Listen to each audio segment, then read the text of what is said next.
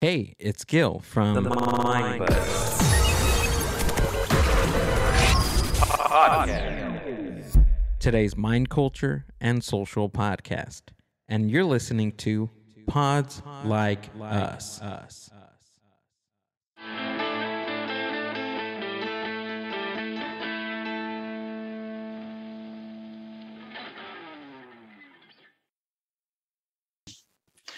Hello and welcome to Pods Like Us. I'm Martin Quibell, known to my friends as Marv, and this time I'm speaking with Matty C, Taylor, and Manjot from the Aussie NFL Fantasy League. Hey guys, thanks for speaking with me. G'day, Marv. How are you, mate? Not too bad, yourselves? Not too bad, all Marv. right. Yeah, Can't we're wait go- for going this, good. Mate. Absolutely stoked for you to have Yeah, us. mate, we're chuffed. We are totally chuffed to be here. Stoked us. Man, I'm excited. I cannot wait to show everyone what we have to bring. That's great. So the first thing I've got on this list of bullet points is uh, is sh- sh- shall I say this as if I'm surprised? Like, okay, so then I'll go NFL. You're Australians, fantasy league. How does that happen? Manjot, do you want to take this one, mate? Look, football is football, you know. NFL football is just, you know, it's a very interesting sport to some of us Australians. I feel like a lot of people are missing out when they don't watch NFL. There's a lot of strategy, there's a lot of brains, as well as the brawn. There's a lot of, you know, speed, a lot of strength involved. It's a sport where you can have very smart people coaching you, and you can also be one of the fastest athletes in the world. It can be for everyone, to be honest. Yeah. That's how I had it put to me when I first met a guy who said, Oh, you should play. And I thought to myself, okay, I'm like a 25 year old guy who weighs about 55 kilos in a, possibly the most contact heavy sport. What, what do you envision I'm going to do that's going to be useful aside from maybe hold the ball for the field goal kicker? And he just started asking me questions about what other sports I'd played. And once he established I'd played cricket, because, you know, Aussie, Yep. um, he's like, oh, good. If you're used to catching the ball in your hands, then you're a hell of a long way ahead of rugby or rugby league players or Aussie rules players because they have this predisposition of catching the ball on their chest when they're uncontested. Mm, If you can catch the ball in your hands and you've got that going for you, then you're going to do much better with American football because hit your pads, it's going to bounce off. So all of a sudden, it's like, oh, actually, I do have a really useful thing that I can contribute to this team. And man, all it took was going to one training, and I was just really, really hooked. That's kind of where this whole Astros thing came from. Is that just uh, I played a few years for this Astros football team, Yep. and then once the uh, the team looked like it was going to going to fold, then um, I needed to find a new way to keep everyone together. But that, that's kind of I just I happened into working with this guy in a pizza shop who's like, you should play. And all these years later, now uh, a lot of us are still together through through fantasy football. I mean, it, it is strange because you know you, you think you think Australia, like you said, cricket and rugby as well. You know, Australian rules rugby and everything. You think, wow, yeah, yeah, how does American football happen then, right? yeah, Um, and, and Manjot's, he's got a good story about how he ran into it. And really, for me, I, I ran into it through that uh, PlayStation game series called Madden. And I'd seen it, like I'd seen American football on TV and never really understood what was going on.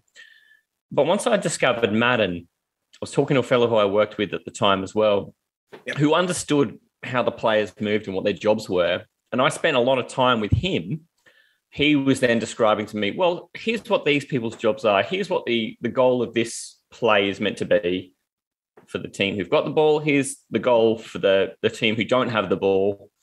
And once he started breaking it down like that, I started looking at it like, oh, oh, this is like chess, except it's between two coaches with human pieces. And there's the absolute level of someone out there could do something extraordinarily brilliant or something could do something out there individually calamitous to mean that everything else that everyone else has done in that play means nothing. Yep. And hmm. both of those things are really, really entertaining because, you know, no matter how well one plans for the other or no matter how well one executes, just one thing can dishevel the whole thing. Um, and yeah, that was enough to get me really hooked into it. But Manjot, you got a good story about how you came into it. Yeah. So I was literally six and a half years old, sitting in front of the TV. it was the day before school started, uh, before first grade started to be exact. And was Super Bowl 43 was on TV. I was literally flicking through the channels trying to find something to do. I see this thing, Super Bowl 43. I'm like, whoa, this thing looks big. And I was already into like rugby and like Aussie rules, cricket at that sort of time, watching those sort of sports. So I'm like, yeah, I'm a sports fan. I was I was actually a motorsport fan as well, to be honest. I was big into my racing cars. And then I see this, I'm like, whoa, this is nothing like I've ever seen before in Australia. It's just, it came on the TV and all these men are like hitting each other and they're throwing this ball forward. I'm like, what's going on? And I just get so excited. And it was just the greatest game ever, too, because the ending to that game, Super Bowl 43, where Santonio Holmes literally catches the ball in the back right corner of the end zone and he's literally falling down and he's literally got the ball in his hands. It was just a great ending. And I rewatched that game a million times just to reconnect with my younger self to be like, yeah, this is what you grew up. This is where you came from. You came from this game literally to be watching all the all 267 or 272 regular season games plus playoffs. Literally, it's it's just grown. It's just the fans are like growing in Australia. It's because like yeah, the chess element and of course the strength and you know the running sort of element. Yes, yeah, strength and speed really attracts people, but the chess element is what attracts me. I really love yeah. to see like the players run routes. I play a bit too. I, I play wide receiver in the in mm. a contact, no non-contact league, a flag league where you pull flags instead of tackling people. So flags are on your belts, and then you just pull them off instead of tackling. And that's how I met Matty actually. Yeah. So this met. is how this is how I got into the show. Yeah. So I was never part of the Astros team, but I was a I was a part of this Goats team. So they had they had the Astros old quarterback. Yeah, the goats. Yeah. We, we, we, used to be called we started off as with a bag of screaming goats and then we reduced it to the mighty goats and there's just the goats now. So I'm actually rejoining them tomorrow because I had a little oh, layover shoot. because of some COVID.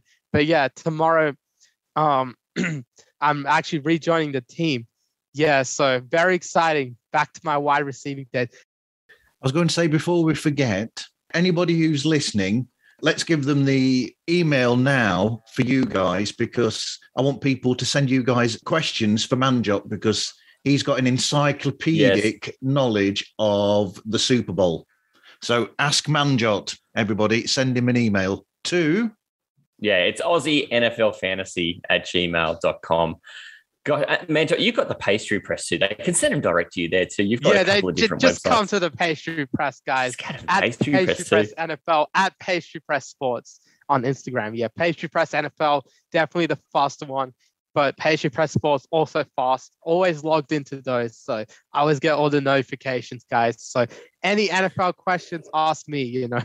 Yep. Yeah. That needs to be a section now in the show. Every show you do, you need an Ask Manjot question.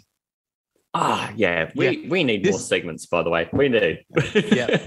I, I, did come up with an ask Manjot, but Manjot asking questions sort of thing today, actually in our chat. Yeah. So that could be coming soon if if they approve, you know. Yeah, we've got to put it in front of the board. Uh. yeah.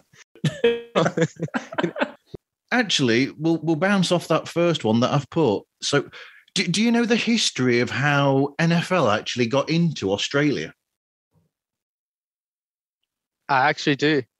Ma- Manjot. I actually that, do. That sounds I like a Manjot special. Ask Manjot. Yeah, that is a question. So like from everything I've read, yeah, from uh, I'm quoting like paraphrasing from a, the Gridiron Australia official website. It's actually introduced in like the 80s. Yeah, so this is just from memory from what I've read on the Gridiron Australia website, which Wikipedia copies word for word, actually. Of course. If you search up American football in Australia. Yeah, but so the Gridiron Australia website said a bunch of dudes in Sydney in 1980 decided to start their own league. So that's how the first league got started. It was in 1980 or like 1983. I think 1983 it was, where they started their own sort of league, and they had no pads, no equipment. I don't even know if they had a ball. They probably had a ball, but like no equipment, no pads, Gilbert, no helmets. So is yeah, just they had to import a lot of stuff. So it just grew from there. now it's got a few leagues around Australia. I personally am, you know, involved a bit in the ACT gridiron sort of scene. So in Canberra, so their league, the ACT Gridiron League. So there's about three teams there. There's a there's a few teams in Sydney. There's a few teams in like the regions in New South Wales and stuff. But NFL also in the 80s, 90s kind of grew through TV. I know Channel 9, I think the first NFL broadcast on Channel 9 was like Monday Night Football. They used to broadcast, they used to broadcast some playoffs back in the early 80s. And then they had a few TV shows in the later 80s. And the more famous one was the Don Lane NFL show. Yeah. I was I wasn't look, I'm not I I'm not saying I was alive for any of this, but I wish I was. I wish been. I could see. Yeah, I was not alive for any of this, I will say. But the Don Lane show, absolute classic, you know. I've seen some clips here and there on YouTube and some other sites, and the guy was a legend. Absolutely, he introduced the game to many Australians. Yeah. He had highlights. They're probably like weeks old because you had to import tapes back in the day, and there was no internet. So no, so the only way you could really see like scores was like you know Sports Illustrated. Sometimes oh, the newspaper, newspaper prints them. Yeah, yeah. Sometimes, sometimes you get them in the newspaper. Yeah, yeah, you'd have to get like the Sydney Morning Herald or something though. You couldn't get the Canberra newspaper. It wouldn't be in that, mate. You'd have to get the Sydney yeah. paper. Yeah. Yeah, I was reading one article about how they used to delay telecast by like uh, five weeks or something, and then you had to like tape record them, and the tape recorder wouldn't record it all because the games would be played like tape. The tape of the games would be played at like 2 a.m., 3 a.m., some ungodly hour. So you had to actually record them, and then you so have to have the tapes, and then they play like all those infomercial programs over those other tapes. So those tapes would eventually not be able to cut it. And I don't think like VCR was even legal in Australia until like 2004 when they were basically oh, useless. Come on. So these were all illegally illegally recorded, but you know, legal in America, illegal in Australia. But yeah. So that's essentially a sort of brief history of NFL in Australia. nowadays, nowadays you can find everything. ESPN, NFL Game Pass has every game. Yeah. ESPN is like seven games a week. Uh, seven mate, Channel Seven have like two games a week. So, you know, there's non stop Titans at Taylor's house. If you just ever want to see a Titans game, you just give Taylor a call. He's got them all. They're just rolling all the time. Yep. Always, mate. Always. Except and for the divisional game against the Bengals. That's not on. Don't don't watch that. That sort of backstory is probably not just uh, specific to NFL either. I'd say that would that would have been kind of how it was with all the American sports.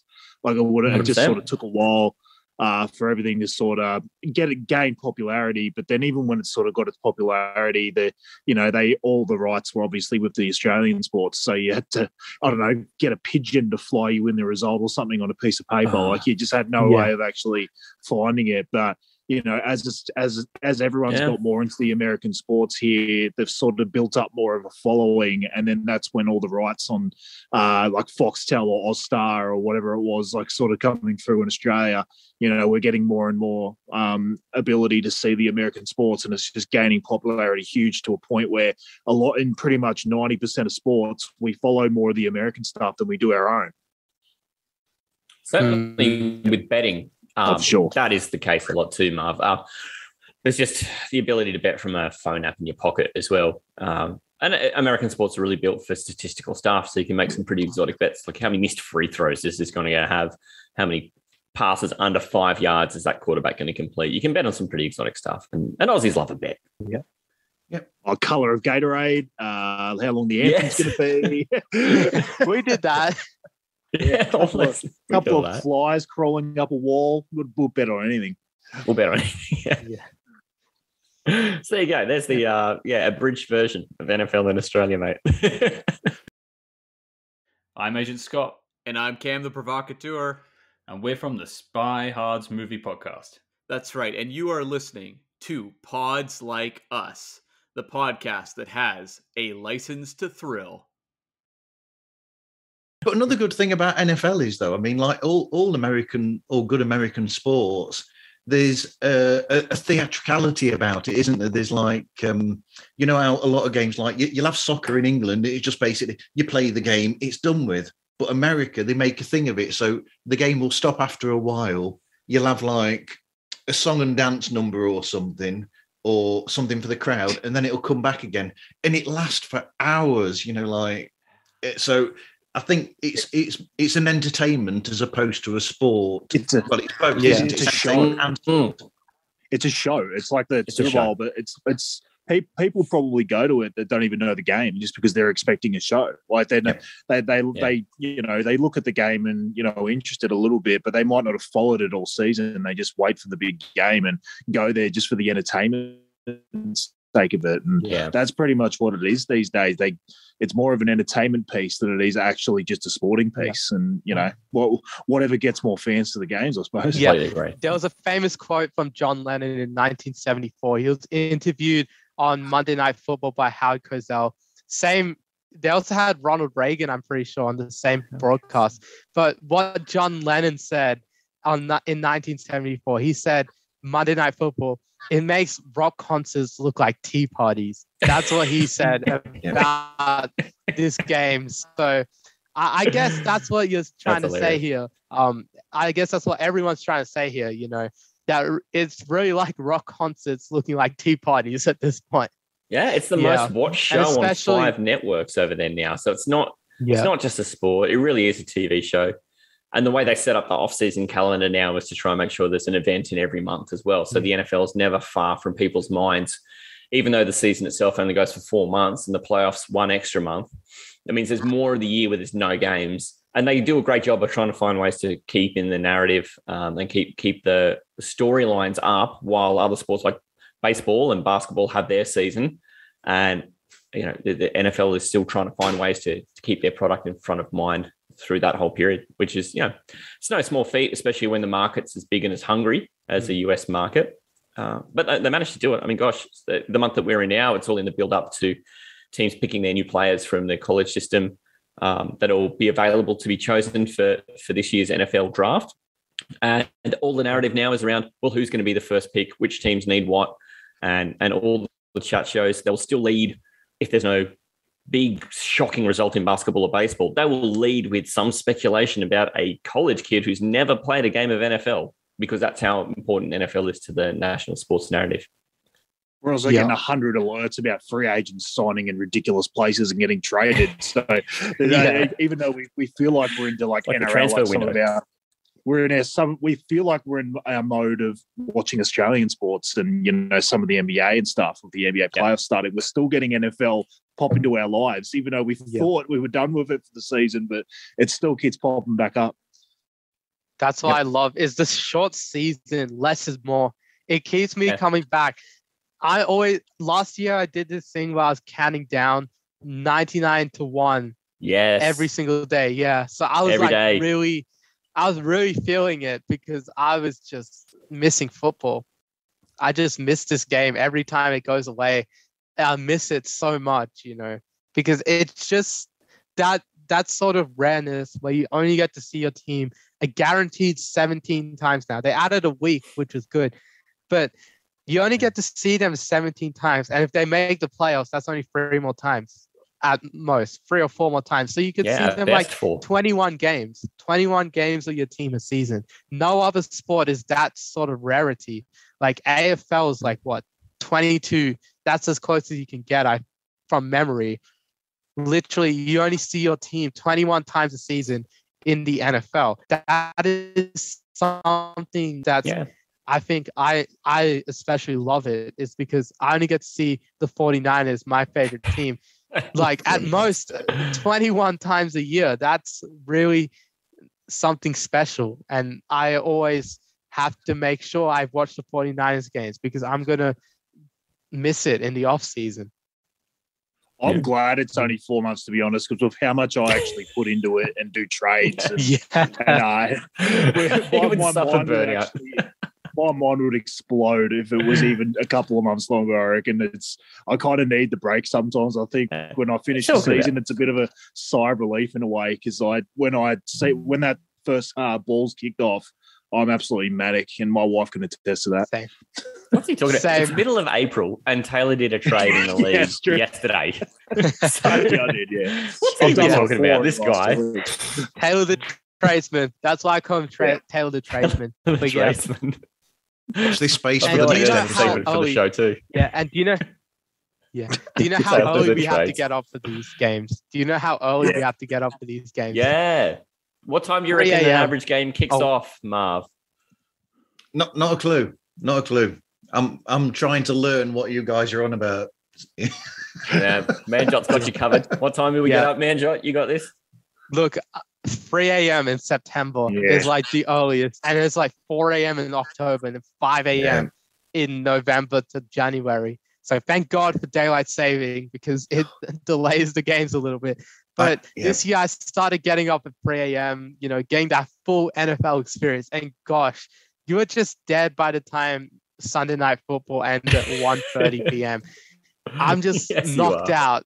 I'm knocked out. I actually I started doing it the first four weeks. Yeah, my sleep schedule is never the same. It's never been the same. I'm still Man, John, catching have up. two- on all this. Have two young kids, you'll find Yeah, out add- what add uh, children, You know, mate. sleep sleep schedule doesn't exist. Yeah. Yeah. I'm I'm used to I'm used to broken sleep, so you know the the end of getting up early for the NFL doesn't bother me so much. It just gives me a reason. it's also why you make so little sense on our show, and I've got to disagree with you all the time. because you just haven't had enough yeah. sleep, mate. yeah, exactly. Just do Makes exactly what I'm saying. I thought I had trouble trying to keep up with what's going on with the Major League Baseball. Don't worry about it. Push to the side. Marv. That's 2,430 in total when you add up all the teams and stuff. Because you do 60, what, what's it? Uh, 162 by 15. That's how you get that number. Love this guy. I did that once. I was like, gosh, how do you do that? I, I literally watched 272 NFL games, regular season. This is, I'm talking about regular season numbers for all of them.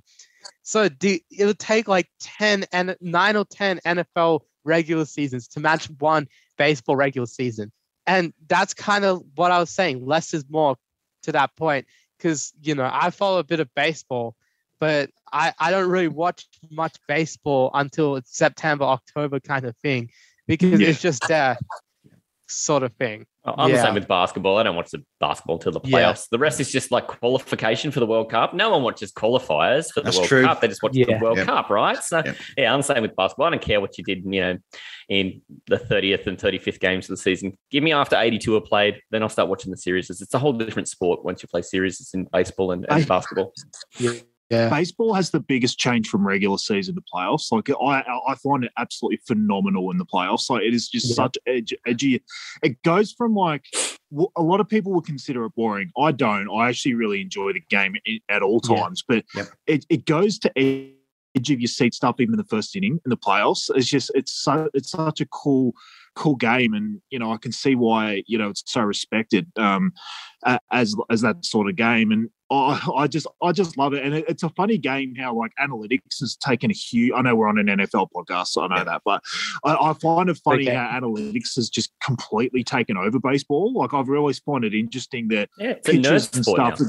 The pitches are getting taken out even when they're absolutely dominating. Like the other day, Yeah. Kershaw was pitching a perfect Yeah. game, and they took him out after only 80 pitches purely because, well, I, I think most of it was analytics, but I think they were trying to say, you know, they were just trying to arrest him and stuff like that. But Yeah. it's crazy that never would have happened Yeah. back in the old days. Like they would you have had have seen Marv now. He was disgusted when he said that. He was absolutely disgusted. yeah. He was reviled. Marv's face He had said it two all. more innings. Yeah. He They would've had innings, pitch- six more outs. They would have had to count more of 100 to 110 before you take out a starting pitcher back in the day. Whereas now it's like they'll take Yeah. out a starting pitcher in the playoffs just because there's a right hander coming up and they, Yep. they've worked out the stats that the, this this this batter coming Yeah. up is better against left-handers than right and blah blah blah. Like they'll just take out anyone at any Yeah, time. They don't want to It's- overwork it's him because they want to absolutely keep their ace again for game four and game seven if they need it. Like they do all of that too. Yeah, yeah. And it's, hey- it's so, Yeah. it's, that's happening in all sports, Yeah. but baseball seems to be really. You seem to notice it more because Yeah, it's it's such a the big gold change. from what standard of it, used isn't it?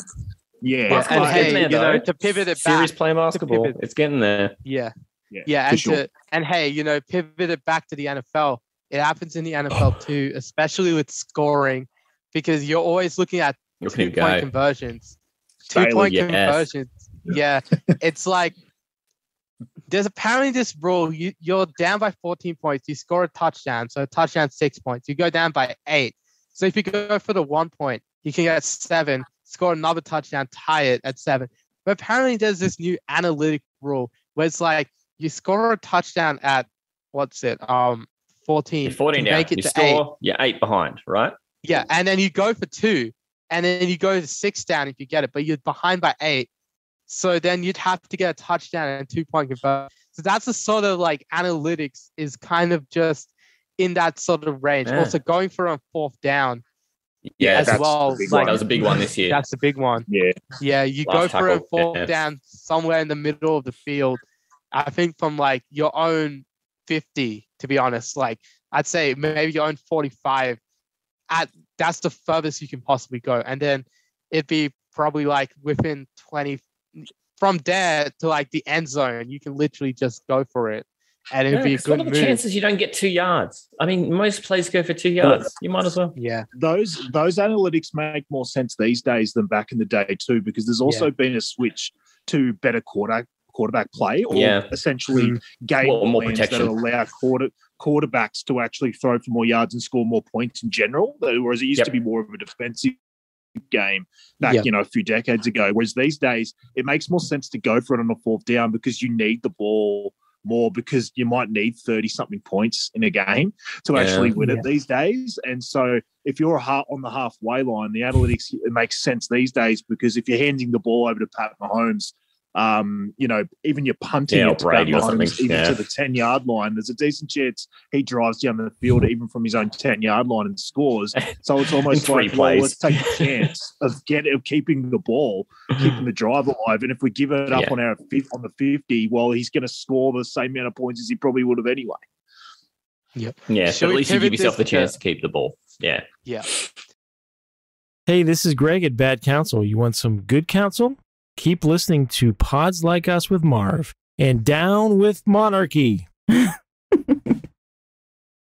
Should we pivot this to fantasy now? Because I reckon we haven't put Poor Our Mark. He's just found is himself on our podcast. It's This poor fine. guy. Yeah. fine. He's like, he's just like, I'm in an episode of NFL fantasy. Just cut, you cut 95% of the shit, oh. but that's just us. Unofficially, unofficially, I did an episode of Bad Counsel, didn't I, when they were on my show? You did. You totally did. And that was great. That was so the Bad Counsel guys are the best.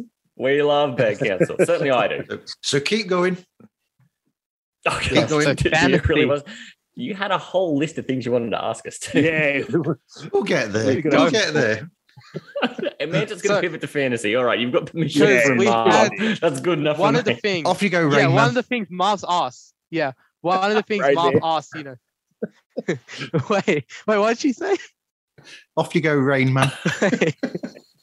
Rain Man. Yeah. You know. Um. Well, yeah. That was a good so. You know, first question Marv asked, he included a bit about fantasy, and that's what our whole show is about. It's about Yeah, fantasy yeah, there we go. football. Look, we love NFL, but there's a little extra. We want to be a bit more special, bit more niche fantasy football. Now, we got to explain what that is. So, with every action a player does in a- a game, literally like a 10 yard run by this running back, he earns one point for his team because it's like one point for every 10 rushing yards, one point per 10 receiving yards. Now there's points per reception. We get one point for catching the ball. So you draft a team of players from any sort of team that, that are already in the NFL. So then they all combine to be on your team. And whoever scores the most points in a week wins you the games. If you win more games, so if you win this week and then you win next week and then you can get in the playoffs there's playoffs so there's like um i don't know like two weeks three weeks sometimes four weeks our espn league Matty went up to four weeks sometimes It it, went just four be weeks? two Yeah, sometimes yeah. it's just two weeks, you know. And it's just yeah, it's just Astros great is three fun. weeks. Yeah, Astros is three weeks. Every league's exactly. a little different. Yeah. yeah, every league's a little different. Yeah. Yeah, it's it's just absolute fun. I reckon you two should talk about this one a bit more because a little more on your side because you guys OGs Ah. of this podcast. So, Taylor, you tell us about fantasy football, Taylor. You're the champion, the champion of everything, uh, the champion of our league, champion of our hearts. Uh, you, you tell us about fantasy, mate. People's we all bow to dynasty team. People's Look, I've been He's dynasty. People's Dynasty team. I mean, he's the I mean- owner of it all. I've been called a lot worse than those lovely things you just called me, Matty. So I'll definitely take that. Most of them by Um, me as well. Yeah, look, me and Jot, like you know, sort of took her out, took the took the basics. It's very specific to offensive players. I know there's some leagues, very specialized leagues, where you can pick defensive players individually and stuff. That's not the norm. So it's very specialized to skill players uh, on the offensive side of the ball. Which, to be honest, that's the funnest part of NFL. Like Yeah. that, that's why 100%. NFL fantasy so enjoyable is because you're not sort of looking at little plays here and there from defensive players and stuff like that you're looking at big bust boom, you know, play, plays from, you know, young guys, you know, veterans, stuff like that, that are going out there and getting 50 yard bombs and, you know, doing all, all the fun stuff, you know, picking up Pat Yeah. Mahomes where he's throwing a 70 yard at a Tyreek Hill down the field. And you might be lucky enough to have both of them that, that score on the same play. It's, it's, it's really, really fun to watch. So that, that, that's a huge sort of part of it. But, you know, I've been playing it for, I don't know, good 14, probably 14, 15 years now. Like it's, I started playing it a while ago. It was sort of getting beta tested. It's, it's definitely more enjoyable now. Um, there were definitely some growing pains early on in Australia, Mm. spec- specifically with uh, NFL fantasy. But Yep. I think we've hit Mm. the mark now on what we're doing now. Everyone's, it's getting so popular here in Australia that um, people are getting more and more into it and getting more knowledge about it. And there's a lot more podcasts and stuff like that on there um, where people can get more information. Like just you can streamline stuff on ESPN.com or NFL.com, and the internet's out there for anyone to help. There's a lot more fantasy knowledge out there on the internet that people can look up and you know get a bit more into it. So I think with leagues being more competitive and people being better at it, um, I think it's made it even more enjoyable. So um, like me and Matty been in this Astro League for a while, uh, and it's 16 Yeah. teams, which is isn't the norm. Um, and so it's really, really hard to win. So if you can win it, you feel like you've you've done your dash. It's Ah. been it's a really, really hard Yeah. thing to win. you feel like you've won the So- champ, like the championship belt. Yeah, you yeah. feel like you feel like someone. Yeah, you're you're not, but you feel, you feel like someone. you feel, And when you you're in like a league celebrity. like that, when you're in a league like that, players are stretched thin. So when you get a couple of injuries, it is really, Mm. really hard to find replacements. So you really got to do your research and and dig deep into waiver wires and stuff like that. So it, it makes it really, really enjoyable. And it's, it's just something I've always been into analytics and looking further, sort of out of the box in terms of my NFL fantasy stuff, as you've probably heard on the podcast if you've listened. But um, it- it's just something that's it's really enjoyable, and I've loved American sport in general for a long time. And um, I've I've played fantasy in some of the Australian sports and stuff, but nothing quite compares to NFL. It's it's just such a fun game, and I'll uh, let, let Matty sort of to Hmm. dribble on a bit like after all, like I just did then. But it's just something I really really enjoy playing, and um, it sort of hits a lot of the the things that I like to do. So yeah, I'm not surprised that I take it really really seriously and and falling down the rabbit hole sometimes. Um, and Talor and I are salesmen. So a lot of what drives us in our life is that we look at data and then we find holes and we try to repair the holes and we see things that are performing well and we want to lean on that. So it just kind of leans to things that we're naturally interested in. The way you build a team in NFL fantasy is kind of cool though. Uh, uh, there's a lot of fantasy leagues out there where you get like a set budget and each player has a value and you've got to fill your team based on, you know, how many pounds or dollars a player might be worth. And you're kind of capped on how much you can spend. The way we play NFL fantasy is that every player just exists in that league one time. So if one person in that league owns them, they're not available for anyone else, which means every player has value, but it's not a monetary value, it's a market value. Is this player more useful in this particular league because there's three guys who like the Packers and all those Packers players, they might want them on their team. So they're higher value to get because you can turn them into a commodity. Um, it, there's a whole lot of you know, it's really strategic gameplay with, with that because there isn't some numpty in some office somewhere setting a dollar value to a player and then setting like a here's your family budget, go shopping with that. So in our instance too, where there's 16 people trying to eat from the same food bowl, it's super competitive. And mm. a lot of us have been either playing fantasy for a long time, like Talor's been playing, you know, we've both been playing 14, 15 seasons. Uh, Manjot, he's 100% made up for not having played fantasy for a long time just because of his depth of knowledge. Just applies that into fantasy and look at him go. He, he kicked my butt and won a championship in a league we played in together this year as well. It seems yeah. everyone's got that in common on our show. They've all beat my backside in the last 12 months to win a championship. but, uh, but yeah, so there's that. Re- it really is. What do you like about American football? Well, you like to watch people score points, and and and you know you like to see teams win. It takes a lot of the the football part out of it, and turns into a very nerdy pursuit, to be honest. Um, which really leans on what we like. We, we're really nerdy about that. But the thing I thought was most interesting for it for me too is I follow a team in the NFL called the Jacksonville Jaguars. They're not a particularly good team. Most people who aren't really involved in the league wouldn't know the team either because they're not successful. But you don't see their games here. And they might play one game on TV a year. They're not the Patriots. They're not the Cowboys. They're not teams that everyone knows who get a lot of TV time. So if I'm going to watch an NFL game, sure as hell it's not going to be the Jaguars. So if I've got fellows from teams like that in my fantasy team, now I've got a rooting interest in watching that game as well. And it exposes me to good players on other teams that I might not care so much about if I was just watching the league for my team. So I think for anyone who's playing a fantasy sport, for any sport, it really does help you become more aware of what's going on in greater parts of the sport than just being silent into your team as well, which mm. over here is really helpful because it's not a native league here and you sometimes are only getting what is presented to you. You're not necessarily always getting to just follow your team every week like you might if it was your native league. So, so there's that element of it too. This is B. Nicole from Buried on the Tundra, and you're listening to Pods Like Us.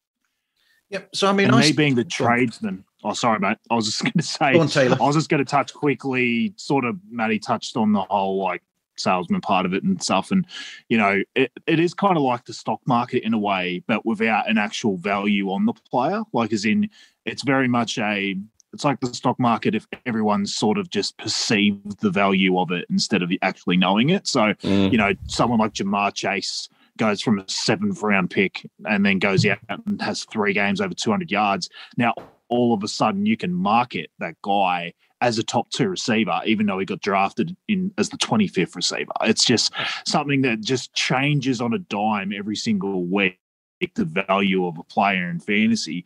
And I was just going to say, it's such an awesome aspect being able to trade in a fantasy yeah. league. And I, I, find it the funnest thing by an absolute mile because you might even you might even be in a league where you don't know everyone in that league and that's how i've actually been in the astro league a bit. And it actually gives you a reason to reach out to people yeah. like on the side and actually have a chat with them and get to know them a bit and you know have a chat about players. Some people might value players differently to you do and you can sort of work that out with them. And it's, it's just a really fun part of it and it gets you thinking like more about your team than just what's on paper right now. Because if you just sit mm. on your team and don't really do anything with it, I don't find it as fun. I always like to look yeah. for something different, and you can reach out to people. Trades don't have to be one sided; they can work for both teams as well. You find out what another team needs to help them win a title, and then you find something that you can get off them as well, and then it's a bit of a win win, and everyone just enjoys it a bit more. So I really, really yep. enjoyed the trading side of NFL fantasy as well well. And for anyone that's thinking about getting into it, I, implore you to look into trading because it, it, definitely makes the game a lot funner. So, yeah, agreed. So were, were you doing this before the show then, the NFL uh, Fantasy League yourselves, before you even started the show? Yeah, the league began mm. in 2009.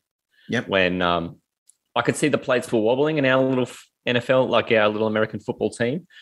And I use that as a season to sort of reach out amongst the guys in the team to say, hey, if to try and keep guys together. I'd, I'd, never been in a team sport that was so big and where I felt such a connection to the guys I'd played with. It really did have a camaraderie that was different to any sport I'd played before. And I was selfishly trying to keep that. And so for me, I, yeah, I thought, well, what's the best way to do that? Let's see if we can get some people interested in getting kicking off a, a little competition like that. It can be social and keep that social element together.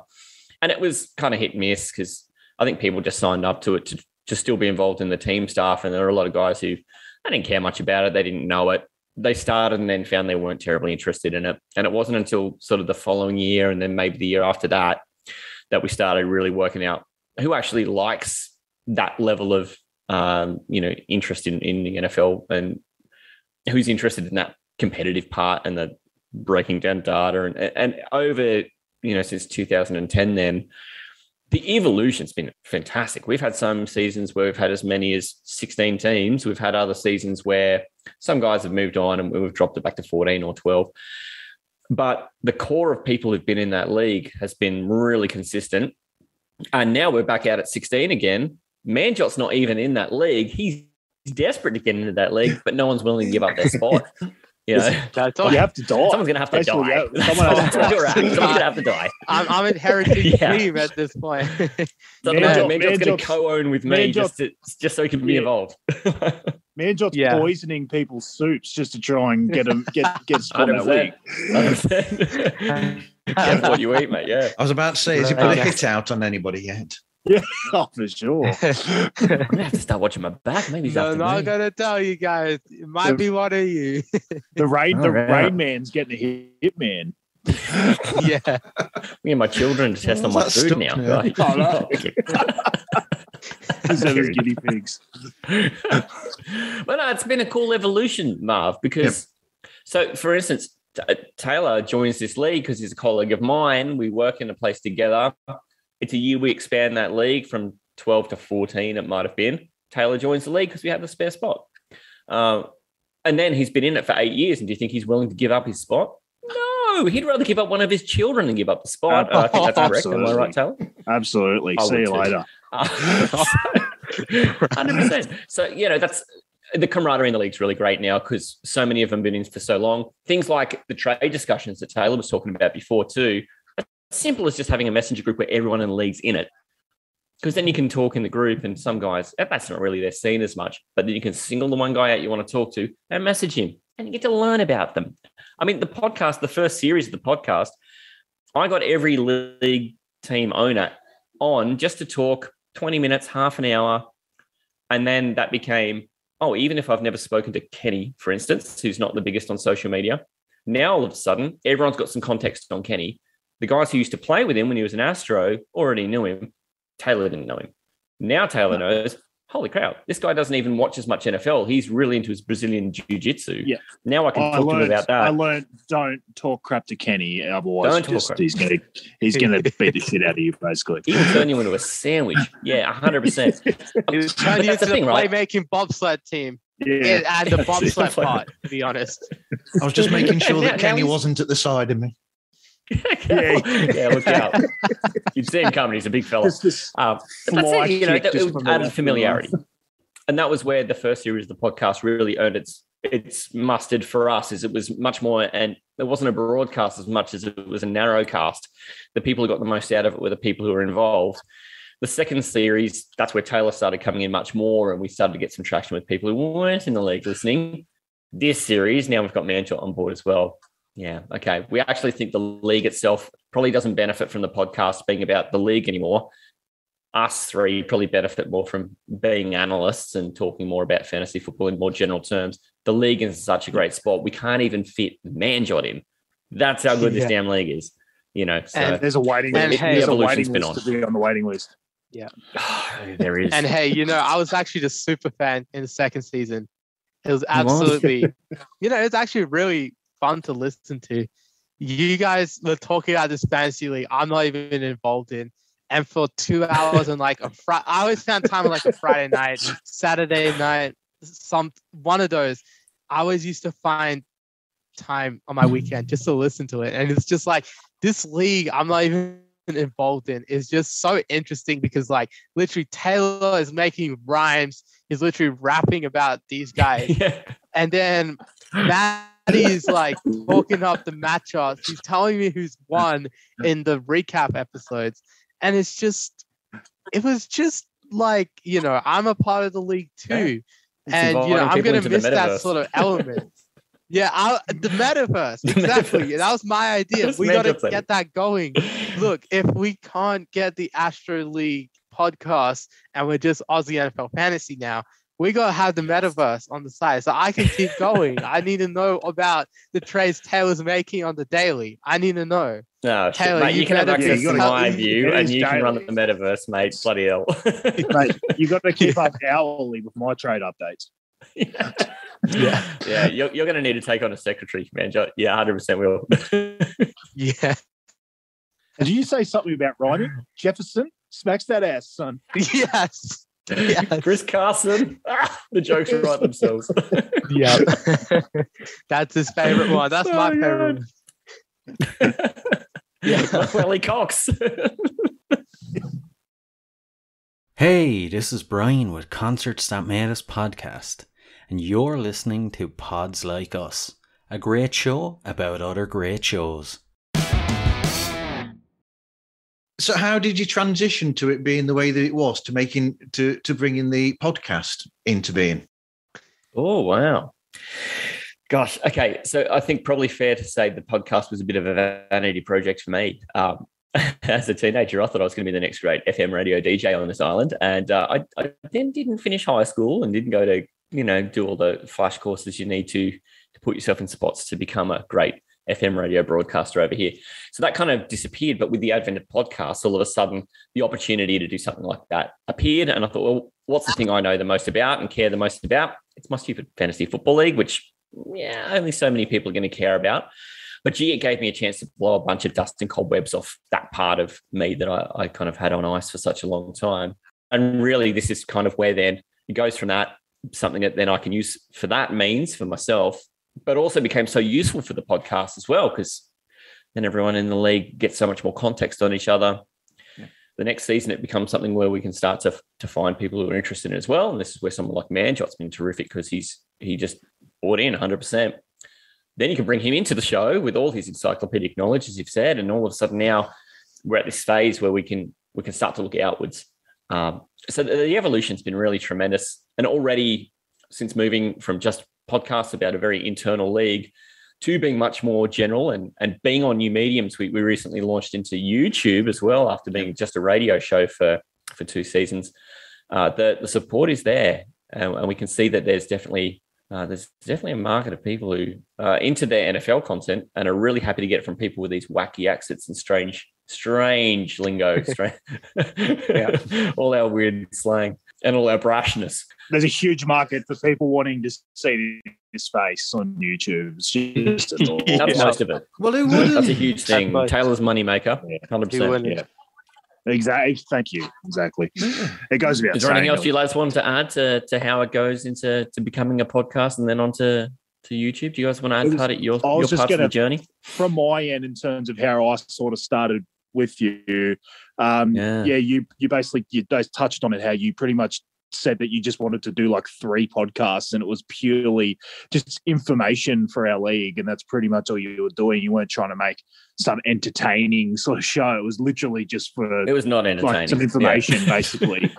and it was funny because I, I think I'd actually talked to my wife not long before that, and I, some, getting into podcasting was something I'd actually thought about anyway.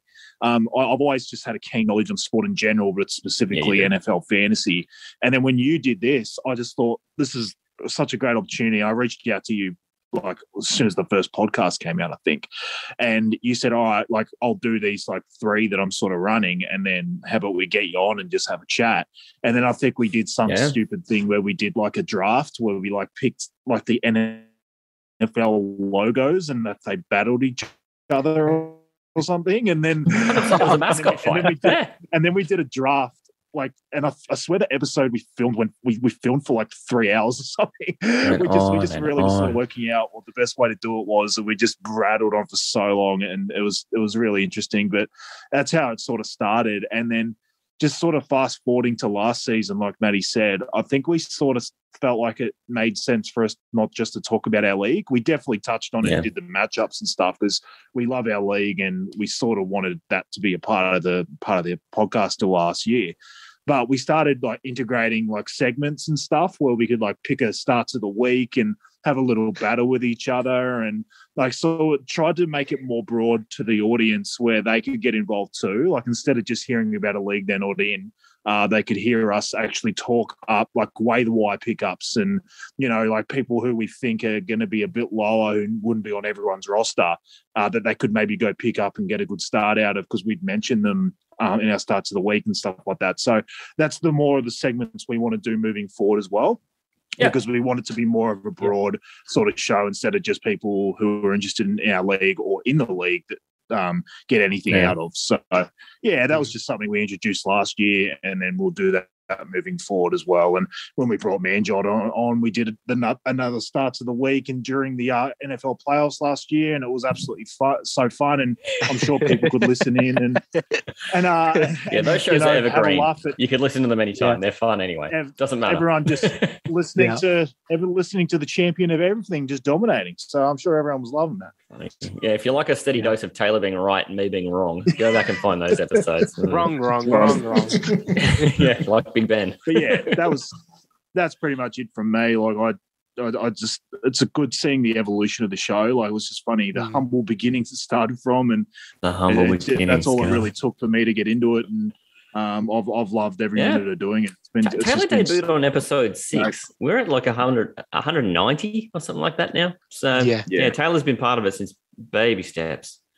Uh, Manjot's been super fan since I don't even know when. Manjot was Second season. Second season. series two. Yeah. Well, it was after we So I met didn't even- playing for the uh, bag of screaming goats, playing flag Yeah. football for the bag of screaming Playing goats. flag. yeah. Now I only just played one the great- game. I only played one game, and that's what started this wonderful friendship. Yeah, man needs to. ah, He needs to get back on the field. We need to run it back, Matty. Come We, on. do. we both had touchdowns One- that day one more game. Yeah, Oh, uh, that catch I had, man. your catch was ridiculous. I'll never forget that. That was ridiculous. The two deflections by the defender, and then me just grabbing it out of the air, juking him. He does the splits, and I just run it into the end zone. That was the greatest moment, probably of last year for me, honestly, except for Deebo. Uh, until Deebo Samuel existed in my life, uh, he was already he was already Deebo's not there, but good. until you, but then once, yeah, it's not not as good as I was no catching it like Deebo. Yeah, Deebo's not Manjot. Yeah, I, I could do everything he does in my sleep. Yeah. You know, Hundred percent. yeah. He but should be wearing a Manjot jersey. That guy. Yeah. Yeah, Should be- Devo, yeah. In the middle. Devo in the Devo middle. in the middle. great. Because he's average, mate. He's average. Exactly, exactly. yeah, but you know, Hey, this is Jack from Bad Counsel. You want some good counsel? Keep listening to my man Marv, and Pods Like Us. You see, this is what the show's evolved into. I got to be part of the conversation too. That made it even more fun for me. I was like, finally, I get to talk too. Yeah. I'm listening to these two so much. I'm like, I want to say this. I'm like laughing my head off every time I'm listening to these two. And then, you know, I'm on the show so- somehow. They just invite me for the playoffs. And then, you know, I get a renewal. My contract gets renewed for however long they want to keep me. I hope I never get fired. Let's not let's not get there. You know, Let's but- be honest. Talor and I are much likely to get more cancelled than you, mate. to be Oh, honest. absolutely. it's so much I'll- more likely. yeah. Put us in front of an open mic. It's danger. I'll Is just it going the to say apology, too, Paddy? adding adding Manjot really evened us out quite well. Like it was Yeah. really good to get a third voice on, but Hundred it, percent. wa- it was good because I, I would say that like Matty has a very good NFL knowledge and a very good NFL fantasy knowledge. I'm probably more so on the NFL fantasy side. Like if we were to Yeah. quiz ourselves on our NFL knowledge, I know I'll get last at our three. It's- it's been very NFL fantasy specific for me. Like I've followed the NFL for a long time and things like that, but um, I don't quite have the uh, the memory of Manjot, you know, coming up with all the stuff. And he's probably looks more on the defensive side and probably knows all the positions and stuff like that a bit more than I do. Yeah. So it was really, really good to have Manjot on because it sort of well rounded us a bit more 100%. because um, like we could hear Manjot talk more about the specifics of the game, uh, not just not just from an NFL fantasy um, side of it. So it was really, really good. And, and then I think even Manjot would admit like he would probably was on the lesser side of the NFL fantasy Yeah. but had all the knowledge about NFL. So I think he's Mm. kind of learnt. Um, me and him have probably learnt a lot off each other. Yeah. While Matty's probably learned a bit, a bit, a bit of everything as well. No, I've so nothing. it's, it's actually been I've really just learned good nothing. adding me and Jot in. Yeah, Matty just Matty just really learned how to be quieter, wasn't it, Matty? You Yeah, always say 100%. you always you always say Absolutely. that, Matty. It all happens around me now. I just sit there and smile. Yeah.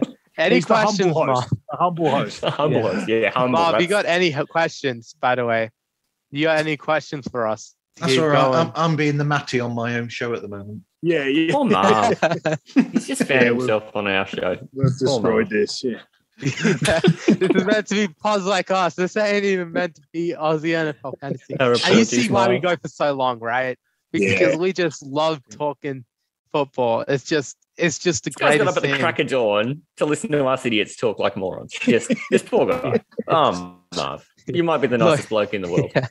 yeah, It's the great. man's really nice to have us on. Like you said, I mean, you know, you, you can listen back to the episodes and you can see the the evolution of how you've grown from there to the to now having having Rain Man with you, and that's just completed. Rain man. Yeah. Manjot brings I'll an take element. that one. He brings an element, and this is what I like. Is that you know, so in it all too. Um, man, I'm like the old fogey on the show too. I'm I'm charging towards forty like a freight train. Manjot's practically half my age, and he just brings a whole new flavor and energy. It's just I turned The balance I is turned terrific. 33, 33 tomorrow for me. yeah, we're almost evenly stepped out. You know, this Yeah. is how much older than these boys I am. I don't feel it. They keep me young. That's I'll say that. Um, but no, I think the good thing about it too is we've both come to it, Talor and I, from different perspectives. I've, I, I played a bit of American football, watched a lot of it. Talor's much more on the fantasy angle, and he's been much more involved with fantasy sports.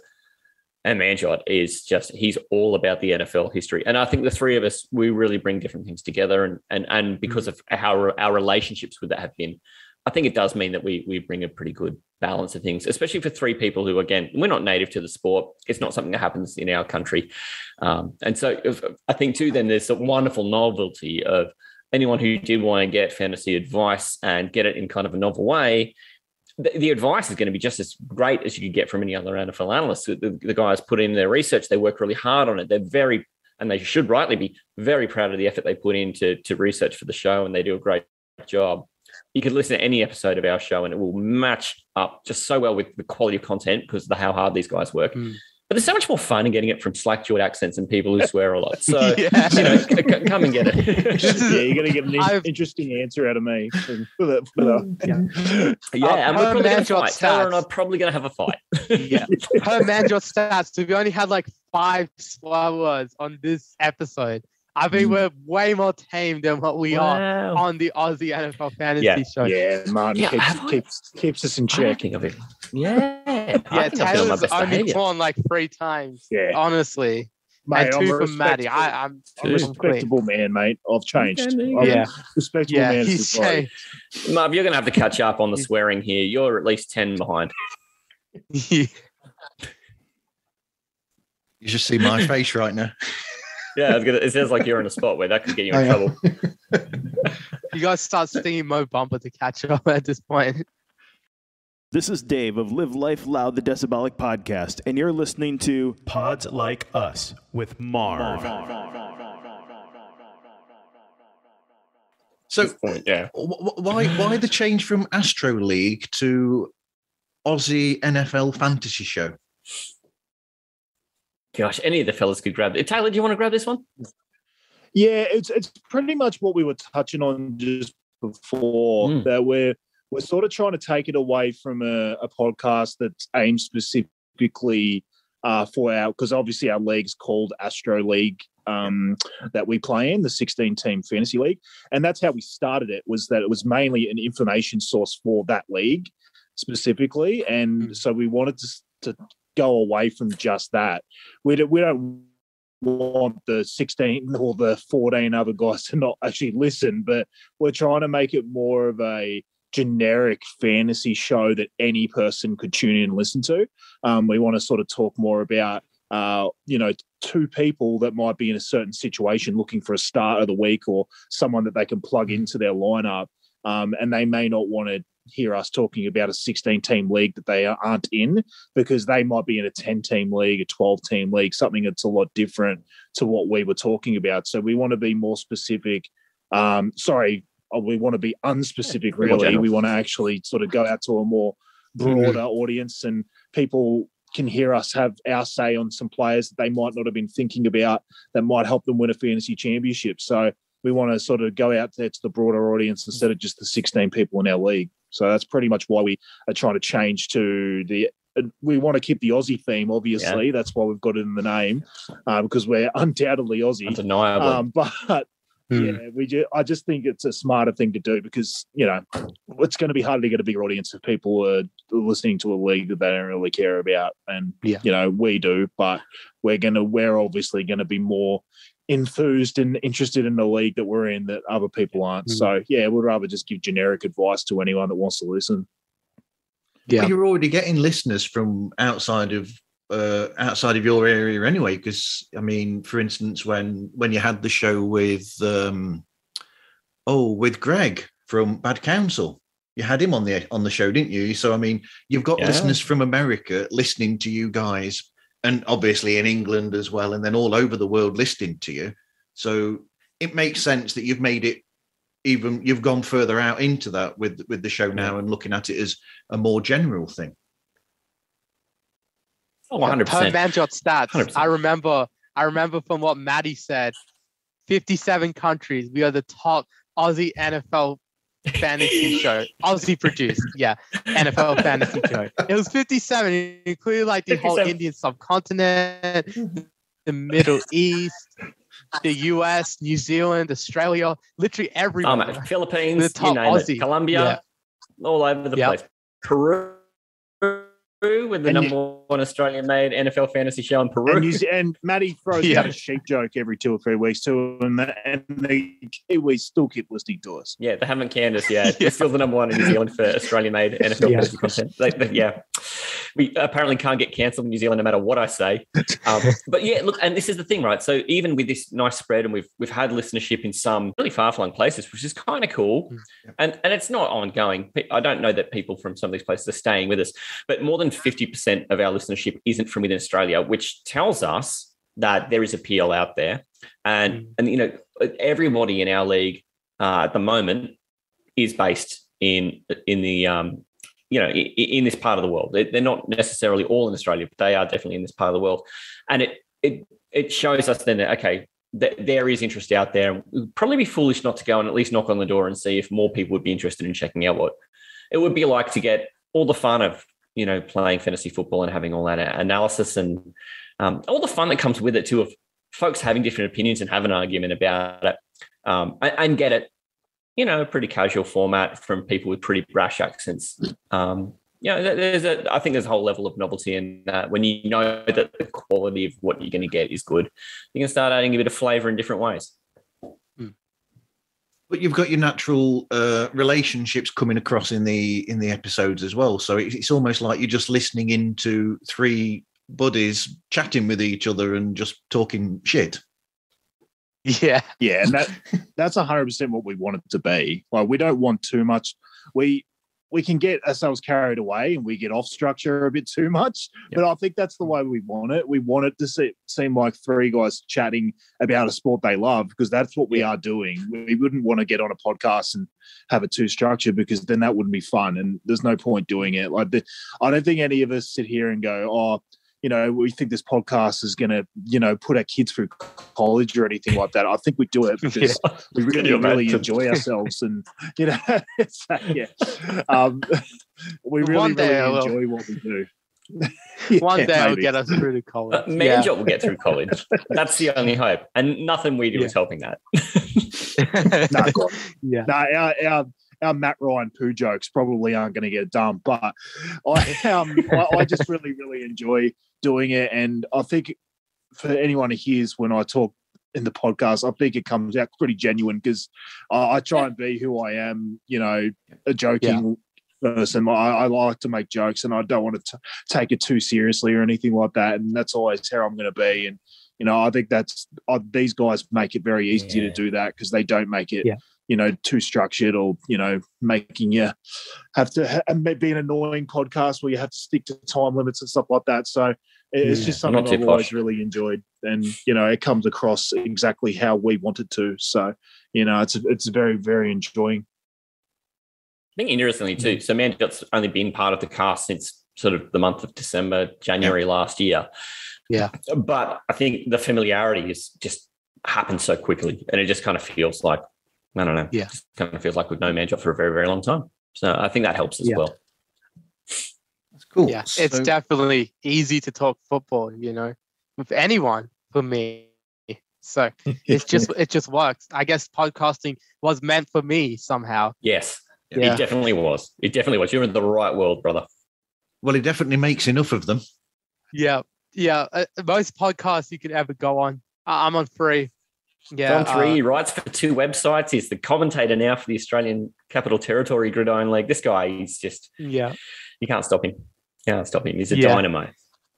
look yeah i'm just i just want to you know be one day i think when i was like 12 or 13 i think i was around 12 and a half when odell took that catch i was just insane yeah and that that's when i was like okay i can never ever ever say any other sport's great in the nfl after that catch like I, I always had I, I always had the nfl as one of the sports i talked about the most but it was never it was it was always around like NRL, AFL. But then after that moment, I was like, nah, A- NFL's got to be number one. And my dream since then was like, I want to be the number one sort of NFL analyst in Australia. I want to be like one of the top guys. I, I know I haven't really talked about this before to you guys even. So this is like coming off as a bit of a shock. But yeah, so like when I started about high school, you know, finding a few people here and there to talk about football. You know, I just wanted to expand my knowledge, keep talking about it. So I guess I started a pastry press as well. I'm I'm now going to my own thing. Now this is my its own manjot time here. But yeah, pastry press, you know, I started I started my own YouTube channel in 2017 when I was like 15 and my voice was cracking a million times and it, it's it's great. I was commentating that exact Odell catch actually, mm. and you know I was I was voice cracking. That's still the most viewed video on my YouTube channel. So many years later, I've had some great draft reactions, but nothing can top my voice cracking a million times. Yeah, I mean I don't know if you guys have even seen that, but oh my goodness, Why do you think It- it's got so many I'm- views? I watch it all the time. I need the Yeah, link for but- that. Yeah, I'll I'll send it. I'll send it. we'll hook you up, across, brother. We'll hook you up. I'll put that in the notes. Yeah. It's Yeah. not even a new TikTok channel. yeah, I, I, I'm gonna I'm gonna be like OG pastry press, very OG. Yeah, so I started pastry press 2018. The website started off. I wrote a Chargers season preview, and then it's like I, I did from there. I didn't really find much time for football content. And then 2021, yeah, so about three years I was on and off. I did commentate a game a year every year, but then you know 2021 hits. I'm like I'm gonna start my own Instagram. Instagram stands like easier platform to use instead of doing my own website or YouTube because I don't want to edit videos for so long. And then, you know, 2021 hits, you know, I'm I'm on, you know, Instagram and then I meet Matty C and I meet, you know, Talor from Matty C. And then, you know, it just grew from there. That's where podcasting kind of became a love. The Aussie End Zone also reached out. I also Mm. reached out to them. They eventually invited me for a guest episode. Then I got on, yeah but you know it's just grown from there. Hopefully i can realize my dream one day you know of being like one of the top nfl analysts in australia. I don't i don't want to be too you know getting ahead of myself too arrogant or anything but you know it's it's kind of getting there you know you know but i, do want to bring this podcast my other podcast up with me if i ever get to that stage. So you know i always let Matty post on the pastry press using that instagram collab feature you know, he gets Yeah, all you the do. airtime. You know, Aussie NFL fantasy gets all the airtime they want on my page. That's that's just who I want to be. I just want to help all, you know, the brothers, all the sisters, you know, who helped me get here. So, you know, yeah. Yeah. That's the sort of thing. Hey there, this is Bobby with the Rock Guys podcast, and you are listening to Marv Smooth on the Pods Like Us podcast. Check him out. Do you have a structure then when you come to come to do the show, or do you just free form and just have ideas of what you're going to talk about and just chat and everything comes out and there's a show there? Look, there's some structure, I will say. Like Talor makes notes, he makes notes about like the things he's gonna rap and stuff but Talor just does it off the cuff. I do it off the cuff. I just use my head. I'm like, okay, I'll rely on my brain for like two to three hours. Let it talk out. I'll get tired eventually and start talking more crap. But you know, it's just gonna be it's just gonna be fun, you know, and we just we just it's spontaneous. It just happens. We have a structure. We talk about the players starts of the week we come up with. We have to prepare for that. But we prepare for it, and whenever something goes the wrong way, we always have a backup plan, and it always comes out somehow. Yeah. We mostly That's have a backup plan. Um, just this week was a good example of uh, spending time with with Manjot, and then the uh, world's number one producer over here doesn't hit record, and you just lose all of that. We've ah oh, man, Talor, we've had a whole lost episode. We had to go back and re-record at one point because uh, yeah. your boy over here just so great with the digital. Yeah, nailing we did the we did the, the tribute show. This is not the greatest show in the world. No, this is just a tribute. um, but look, I think one thing that's really terrific about the, the blend of fellas we got now too is that, that last year Talor was really instrumental in putting together some ideas to try and help give our show new elements and things like us competing against each other for finding players who aren't commonly owned who might be worthwhile in a week and then ranking them against each other and seeing whose selection of people scored more points and then chalking up wins yeah. against each other and arguing with each other about why this player is not allowed in their lineup and why you know just uh, any any reason to argue. But it, it, spurs on a little bit of competition. It gives us interesting things to talk about. It gives i think as well a bit of a listener expectation of oh what can i expect on the show as well? And for the meantime in off season now for us that the nfl games won't start again till september. Yep there isn't a lot of structure through the off season now for us to have to comply to. So we've kind of had some freedom to talk about. Oh, yeah, we had a great big show at the, the, to kick off about you know players who'd gone off contract had the freedom to sign with any team who would offer them a contract. Um, so we talked about who we thought may sign where, and then we've also had one since then uh, as well. It just just really recently as well about um, you know what, what's happening with the draft and who's going where. We, we've got another one coming up fairly soon where we're going to talk about in terms of the fantasy level of it too. At this point, months before the season starts, who do we think should be the best performers this coming year? And if you had to pick your team now, who would you want in that team? Uh, because there's there's things to talk about there, and and there's not a lot of structure. But by the time the season comes around, yeah, we're probably going to have to be a little bit more on point with what things are going to be important to the average fantasy player and we're going to need mm. to hit on some of those things for them. So this is the perfect time of year for us to work out those kinks, which is kind of cool. Yeah. yeah. And as I mentioned earlier, now you've got an extra section you can add of uh, Ask Manjot. Yeah, you've given us about three ideas, but yeah, Fennigan.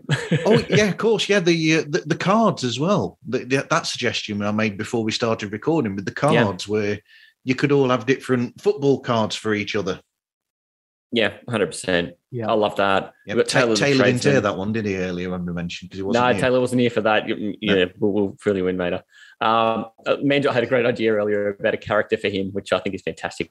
Which I don't want to play that yet. Yeah, well, it's secret. It's secret. It's, it's in the group chat. It's secret. Yeah, yeah. it's yeah, yeah. Talor's obviously world famous for his um, fantasy football rapping. Uh, of course. Yeah, that, you, you, we had that Eminem battle. That, that were pretty much the times that I did come prepared to episodes. Uh, I know I'd like to I'd like to be a freestyle rapper, but I normally had to write down uh, some of my raps that I'd uh, put towards a tune. Normally Eminem, because uh, I always frequented Eminem growing up. Uh, so because we're so white, that's the other thing. We're just so white. Basically, started yeah. with me taking a shot at the one the guy who won the league the year before. Um, yeah, I came into a game against him and basically did a um, a, a rap of uh, it was it was lose yourself, wasn't it? That I did. Yeah. Um, and it was a rap battle. You were taking him down, baby. You were going for his diss track. And then after all that, uh, I lost a 48 point lead in one quarter in a game, and and I was four and zero at that point, and I lost all because I decided to take a shot at him in a rap uh, in a rap song. So.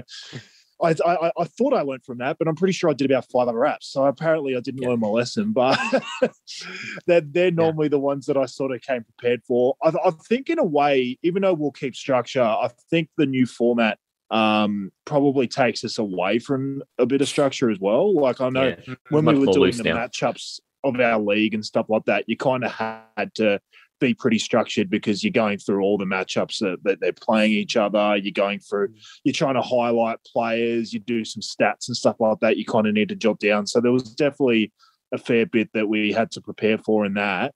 I think with the way we're doing it now, we'll have segments that we do, but I think we'll probably be a little bit less um, structured within those segments. Uh, yeah. I think um, the way that we sort of gel together, we sort of all have our own takes, and we definitely uh, go down a rabbit hole, like I said earlier, sometimes. Yeah. So I don't think there'll be as much structure within the structure. Um, getting all inception on you, bong. Um, but it's it's it's definitely going to be really really fun. I can't wait. Yeah, Hi, this is Katie at Bad Counsel with some good counsel. You should keep listening to Marv at Pods Like Us. You're going down that another rabbit hole.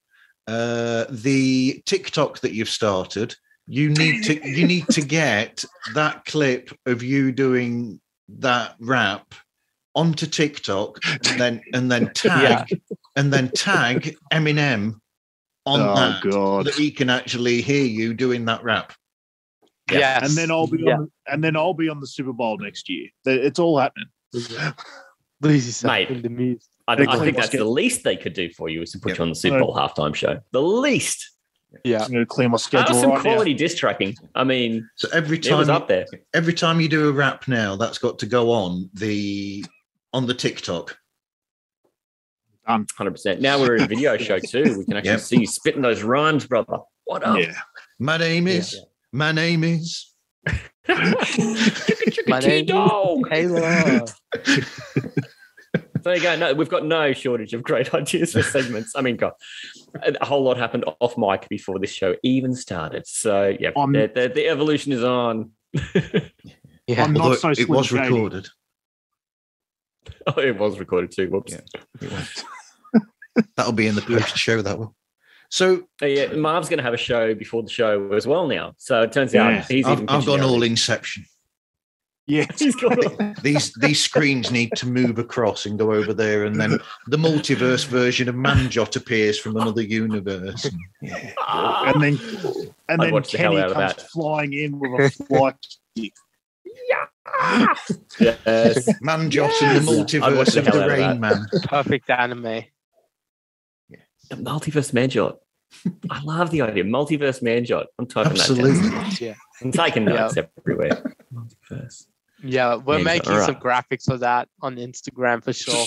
So, what research do you do leading up to the show, or do you just make it up as you go along? Who wants to take this one, fellas? it's Talor that does a little research. Let's be honest. Yeah, it's. Yeah. I'm big on. Um, I do this with my work as well as um for for NFL fantasy. I, I do a lot of um researching and just write notes in my phone. Um, it might even be something that's not specific to the show. Um, I, I just like to have sort of little footnotes and stuff that I can sort of refer to, or if, if it might even be a stat that I saw on a certain player I want to bring up, I'll just write down a bit of a note about it. Um, I, I, just I like to have some little things I can bring up. Like I, I know I did a bit of a segment. I said to Matty, I think it was week, it was I was after week one last year, and I said to him, I want to do a bit of a piece on Zeke Elliott. Um, because I wanted to bring up basically all of Tampa Bay's stats against running backs. So I hmm. basically did all the research. I went to uh, data from the last couple of years, and I basically worked out every yeah. single running back uh, that had gone against the Tampa Bay rushing defense. uh, because everyone was freaking out that had Zeke Elliott last year after week one because he scored like 4.2 points or something Yeah. against them. Uh, and so I wanted to do a bit of a piece on why people shouldn't panic because he basically had three good rushing matchups coming up after that. Um, so people shouldn't just like trade low on him just because they've seen one bad match, one bad game against an incredibly good rushing defense. And it worked out that basically two out of the last 25 running backs to go against Tampa Bay had more than like 10 fantasy points. So it was kind of like struggling. Like there was very, very good running backs in that 25 too. It wasn't just like terrible running backs. It was some of the best was a list of all stars. Yeah, absolute Yeah, list yeah. of heroes. Scoring nothing against that Tampa Bay rushing defense. So I just kind of like to do like little things like that so um, people can, you know, hear that. You know, it, it, it might not reach everyone, but it might reach the people that were sitting there freaking out about Zeke and going, all right, maybe I don't take this crappy off of the Zeke just because I'm worried and I'll, I'll wait it out a bit longer and see what happens. Yeah. So, yeah, I, I like to do stuff like that. And I often just get something in my mind where I'm like, oh, I want to research that. And then I'll just go get all the data and just write it down in my notes in my phone and I'll bring it up whenever it's relevant in the show. That could Okay. be a Talor Talk segment. You know, Talor Talk. See, there's another because- segment. Talor because Talk. Talor Talk is just a general thing for when Talor's on the show. But now he's always going to be on the show. Now he's with me, always, yeah. Yeah. And is there's no longer Yeah. any Matty solo shows. I think Talor Talk could be its own segment where Talor's highlighting an in-depth sort of Yeah. feature on a certain player versus a certain team, some sort of like matchup sort of thing. Whatever Talor wants to, like he says, he whenever something comes up in his head, he'll just find it. So, you know, I think a Talor Talk segment was like, yeah, so you can reuse the drops and everything. See, saves you so much time there, man. Ah, you know? terrific. Not that I don't like making a drop or two. Uh, Yeah. Hates. I, I, you Absolutely guys give me so much content, I can't not. Uh, Yeah. A Manjot is what? Are you research free because you kind of carry around the encyclopedia all the time? I- I've got this wonderful drop. You're going, well, I don't have notes, but I've got the memories. And yeah, then exactly. from that show, you literally just brah, come out with all these wonderful things that you just carry around with you. I, Yeah. I admire the hell out of it. Uh, Yeah, I think I should do more research, especially as we're entering more of a fantasy sort of angle onto these sort of things in the regular season. I'll definitely do a bit of research, but I've got um, you know, I've got a lot of other things with the NFL, so it's like research does come, but I've already done this sort of research before, and that's the sort of thing, yeah. So I need to, you know, yeah, just wait. My grandma just giving me things. Yeah, Hey, so um, The grandmama Hey. Jot. yeah, you know these figs from my garden. You know. Grandmama Jot giving the Keeps you figs. regular. God bless you, Grandmama Jot. Yeah. So my plan And- here is actually to have these two guys become research heavy, so then I can just turn up and shoot from the hip. So this is the outsourcing. Good this is what I'm doing. I used to have to prepare a lot, and as this show evolves, I'm just going to turn up and be a bit more. Eh, Works guys. smarter, not harder. you Sort of you kid. do all the heavy lifting, and I'll just steer the car. What's up, everybody? This is Chris from the podcast Real Film Reviewed, and you're listening to Marv on Pods Like Us.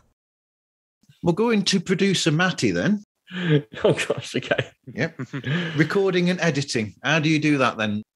Oh, this has been an evolving thing. Very early on, Talor and I literally just used to, I'd ring him, put him on speakerphone, and I have him recording into my iPad. we just have things lying on dashboards of cars trying to record each other. It was, it was really, really dodgy. I would Um, love to just find footage of like some of the times we've gone through. Like, I, I this is actually funny, Matty. The other day, um, I had my phone sitting on charge next to me, and my wife was like, "Why? Why does your phone not lock? Like, why if you sit it there next to you, it doesn't lock?" And I was like, Never. I didn't think of it at first, and then I remembered that me and Matty used to like call each other in the car and stuff, like to do the podcast.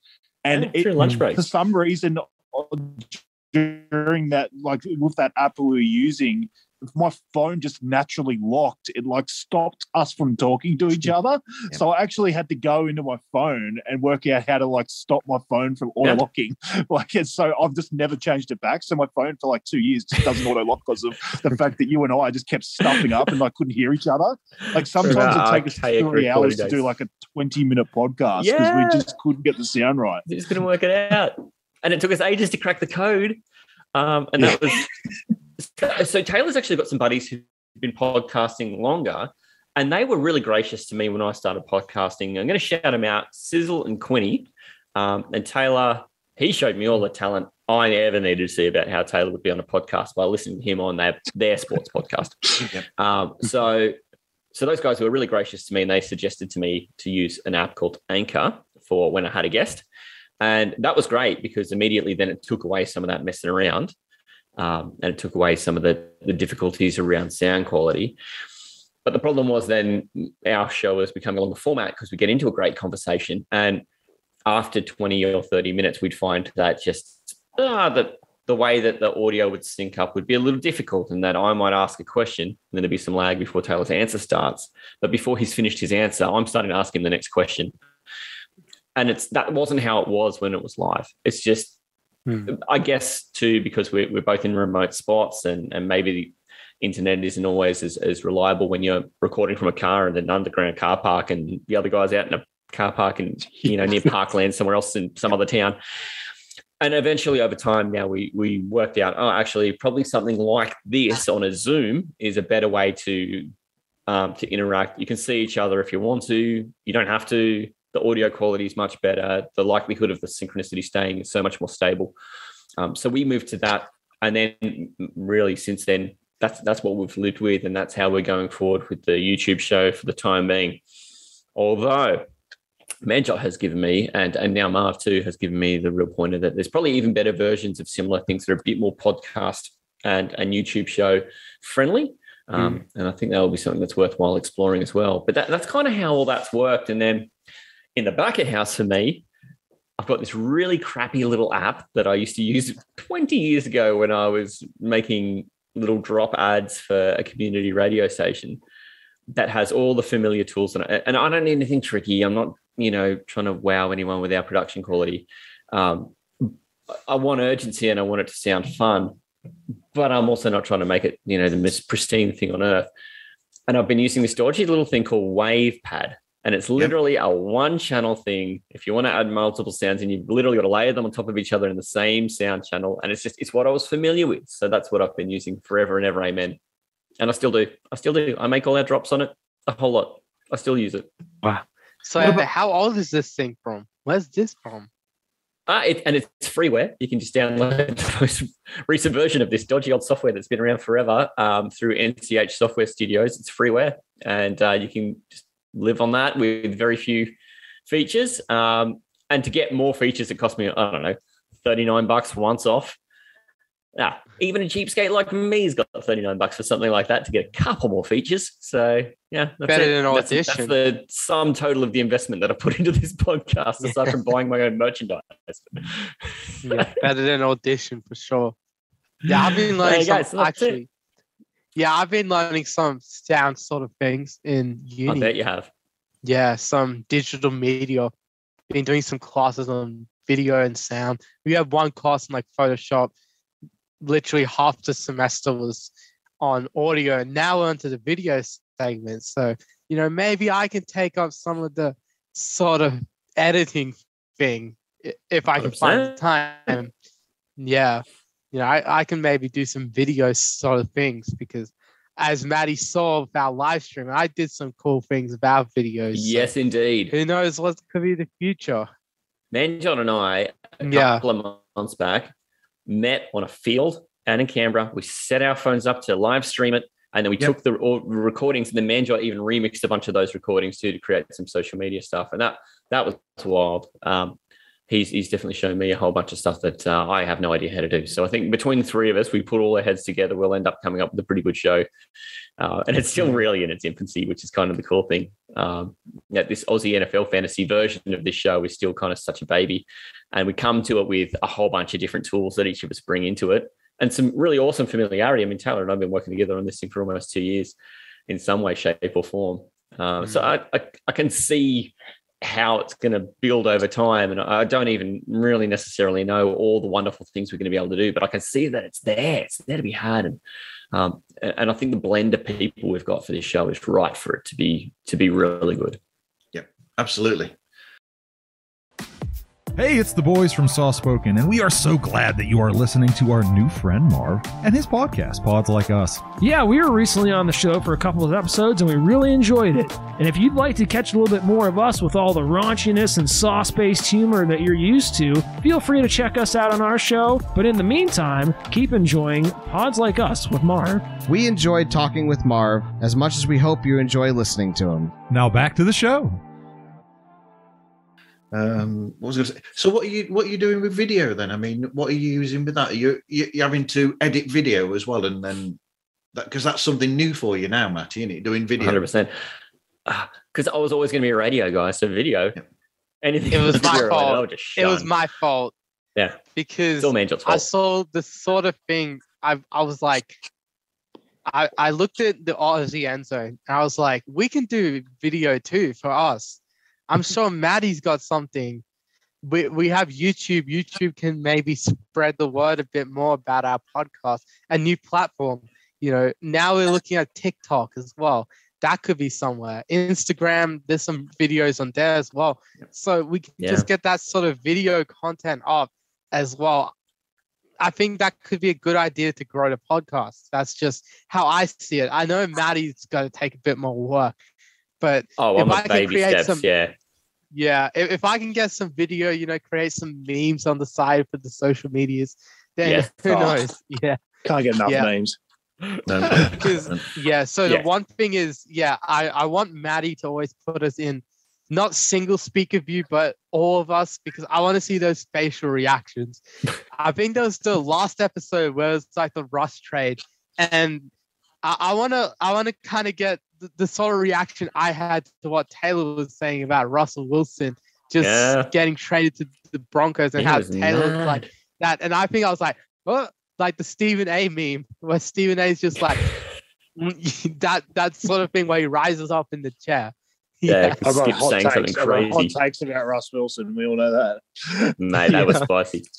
Look, just give me those videos, Matty. I'll I'll get something done on the weekend. I'll send it weekend. to you, mate. We, Yeah. We're using Premiere Rush as well in the background for me because, and partly on Manjot's backing as well, but also uh, I've got a mate from a another part of the podcast world. Um, his name is uh, Gobs from the Bub and Gobs Show. Yeah. and uh, I've been working with him for a long time, and he's awesome. He is a very strong audio visual creator as well, and he suggested for a novice to Premiere Rush. So when you start hearing the same thing from a few different places, it's silly not to not to explore it. And and they've been dead right. It, for a novice like me, it has been pretty simple for me to be able to put together some things that we've been able to publish, and professionalism will probably get there over time. It's something that I'm definitely willing to take tips on as well. Um, but it's something that Manjot had suggested as well, and um, I think that the ability to grow that will only get better and better. I spent some time with another mate of mine from uh, a wonderful podcast, a Canadian lady named Vic, who runs a podcast called Lit with Vic, and she's uh, into literary history and um, it- it's a great podcast too. So check it out, Lit with Vic podcast. But she also put me in touch with Canva, which is a great little creating app for social media as well, which I've Yes. I've got to spend more time dabbling with as well. Me too. Then too. recently adding TikTok. So yeah, I'm just on this voyage of discovery with video, and video and, and moving graphic. It's stuff I've never really had to live with before, but it's the future of where we need to go. And um, you know, I think that the three of us are really committed to making this something that is a bit more visual and Yeah, a bit easier to Canva. access I've been way. using that too for my own personal page, but Yeah, it's just a great app. great. It's just great. Yeah. Pastry press, you know, just we're, we're coming up with some cross cross collaboration ideas between pastry press, Aussie, uh, NFL fantasy. You know, it's just it, I love that new collab feature. It just made life so, so much good. easier. It's not. Yeah. It's like you can pull together all your followers, get the likes together. It's like you're working as a team. Absolutely the best thing Instagram has ever done. Yep. It's Hands down. absolutely the best. Absolutely Hands the down. best. So it's hits Manjot's established audience on his pastry press site, hits our established audience. And then anyone who's on the fringe of that, it may well pop up in their you know suggestions. So it, it just it helps you get so much more reach. Yeah, absolutely. So the music and all the transitions and, and and everything. I mean, how how do you how have you got all that together? And yeah, how, how's that come come about? I haven't even asked. Do you guys actually even like the music we use? That real I disco love jazzy. I love. I, I know how to play That better was kind of nodding. not actually. sold. Oh, no, I'm sold, mate. I'm You in. sure? So the song not that we're flint. using, we've literally, I it just, it was a song from last year's Eurovision Song Contest. Um, this Icelandic band who are Yeah. a whole bunch of I fun. actually knew. Oh my gosh! I I had to search it up because I heard the I heard one of the lines. I searched it up on YouTube. I found the song. I was like, oh, that's where Matty That's gets he all the drops from. Yeah. That's where he gets all the drops from. So one day they're going to come after us and tell us to cease and desist. But until then, we're rocking with this Icelandic pop song, which is so much fun. Um, and so we, we that that's kind of been the basis for us because it's got that you know really high energy, a little bit of silliness, not terribly take ourselves seriously element to the to the sound of that, which I thought complemented as well. The way that song's built too, it's kind of broken into four or five stages where the music rolls along at this high pace and then stops and then picks up again five seconds or something like that. There's a chunk of music that's that big and we can play with that. Or if it's something that's Mm. shorter, 15 seconds, that song's naturally built in ways that it's just kind of cut up like a as on a on a, on a cake. Yeah. So that song as well is just super handy for that. Um, the, the the beautiful thing about a show like this too is I always wanted to be a bit FM radio breakfast. Yep. Um, a little bit wacky, a little bit zany, pretty high energy. People who are pretty self-deprecating and and are, you know, are really leaning on the fun element. Uh, fantasy football is a game, uh, uh, revolving around a sport that's a game where the, the stakes are really nothing. Um, so you know, if you can't have fun doing it, you, you're really in the wrong spot. And we kind of want to lean on that a bit. And I think that the, the ability to to toy around with segments also helps lean into that to say, okay, well, let's have a segment where just Talor goes hog wild about something he's mad about. Um, well, it, that was kind of even a segment we had where we just what got our goat. That was a whole segment last year of us just complaining about something that happened in the league that week. Um, us having our match up against each other for who we thought we should pick in our teams of people to score points, and, and we'd pit out little teams of collaborated, you know, offcuts, players who wouldn't generally be owned, who might be worthwhile starting, and we'd pit them against each other. Okay, let's make a, a drop for that um, to try and call. Hey, here's a segment. Here's he, you're expecting it. Um, the, the guys give us so much great content with just the banter as well. It would be a real pity for Talor to see something outrageous and then never be heard again. Don't you think, Talor? That'd Oh, be be a worst. travesty, mate. And like, if the world can't hear me talk about Matt Ryan shitting his undies and it leaking into his arm shoes, then like, what's the point of us even living, mate? mate. I couldn't agree more. I couldn't agree more. So you know, it's a way of keeping some of these really, I don't know, some of them really sound the kind of seminal moments that you know. Last week everyone had AIDS. This week everyone has Yades. That's a terrific moment. That's another. That's another. you can't make that Yes. stuff up.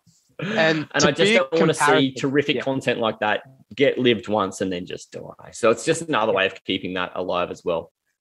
Yeah, I feel like it's part of Aussie tradition. We've had the footy show. We had it actually. It's it's been cancelled now, but we had it for so many years, and I feel like our show is kind of just a continuation of that sort of banter. Obviously, we don't have the sort of yeah, we don't have the sort of practical jokes that they had, but we have you know it's just a podcast that could be somewhat similar to the banter levels of the footy show. So you know, I, I just I think we can reconnect with that sort of vibe we used to have in the 2000s with those footy shows and stuff. Yeah. I think so. And I think there's kind of a funness in being a little daggy and not being, hmm. not trying to be so polished. I think there's Yeah. kind of a fun in in us being a bit bush mechanicy and how we go about it. That kind of lends itself to being being Aussie as well. Of just we're not too serious. We'll have a laugh at ourselves. We'll poke fun at ourselves as well as each other. I think all of that's really authentic to the way the character of of our national identity is, and we all kind of live that. It's not not just sort of something that I think foreigners sort of see about us, but we also kind of live it. Um, and I think it's important for um, for us to, to put that forward as well, because already half of our audience and more is folks from overseas. And it's just the easiest way to engage is when you get something that you're expecting. And then once you get in from the hook of that, okay, these are brash Aussies who, who talk pretty loosely, and you get in there and you spend more time with it, then hopefully we can help develop even more understanding about the way our culture kind of works. Um, because, yeah, I mean, it is one of these weird things where Australia is this country where I would call someone who I don't know, oh, g'day, mate, how you going? But my mate, Talor, I might call him a bastard because that's the way our lexicon works. Talor, how you doing, you stupid bastard? It's a term of endearment.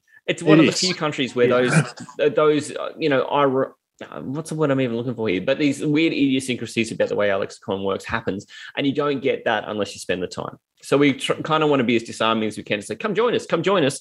But once you're in, look out! It's it's a wild ride. No way going. That's no kind of what going we're back. at. Yeah, no way And back. again, I've been called far worse. So yeah, you take that off, Jim. Mostly by me Yeah, and my wife. and your wife. Well, they're allowed to. She's a good woman. That one. She's. So, hey, this is Tim from Bad Counsel. You want some good counsel? Keep listening to the smooth, dulcet tones of Marv on Pods Like Us. But but you you you, pl- you, pl- you it's it's great because you you play on the the the the Aussiness of it all with the the introduction. You've got all the the clips from past episodes of where that comes out in you, and then you play on it as well with the the new logo as well that you've got that that Matty has on that fantastic T-shirt Oh, that yes. he's wearing right there. But um, in fact, the logo actually shows it even more because you've got like you've got the koala and then you've got the uh, the kangaroo on there and everything as well. So you, There you play on is. it, and I think that's that's brilliant to push that. Yeah, yeah, it's pretty deliberate too. Is that that's the real cross culture thing. We've been really talking a lot about how do you go cross culture a bit to say, all right, so everything that's American and undeniably American about American football is is all that iconography around what's it like to be American. We've got this beautiful graphic of the manjot of liberty, for goodness sake. Um, what a great way to cross cultures with this Aussie as Sikh Australian yeah. holding up the torch on one of the most iconic monoliths on the entire face of the earth. Like, what a wonderful way to clash cultures. And so we- we've tried to find as many ways as we can to sort of go, okay, so it's everything that's undeniably Aussie, it's everything that's undeniably American. Let's just throw it in and mix it up.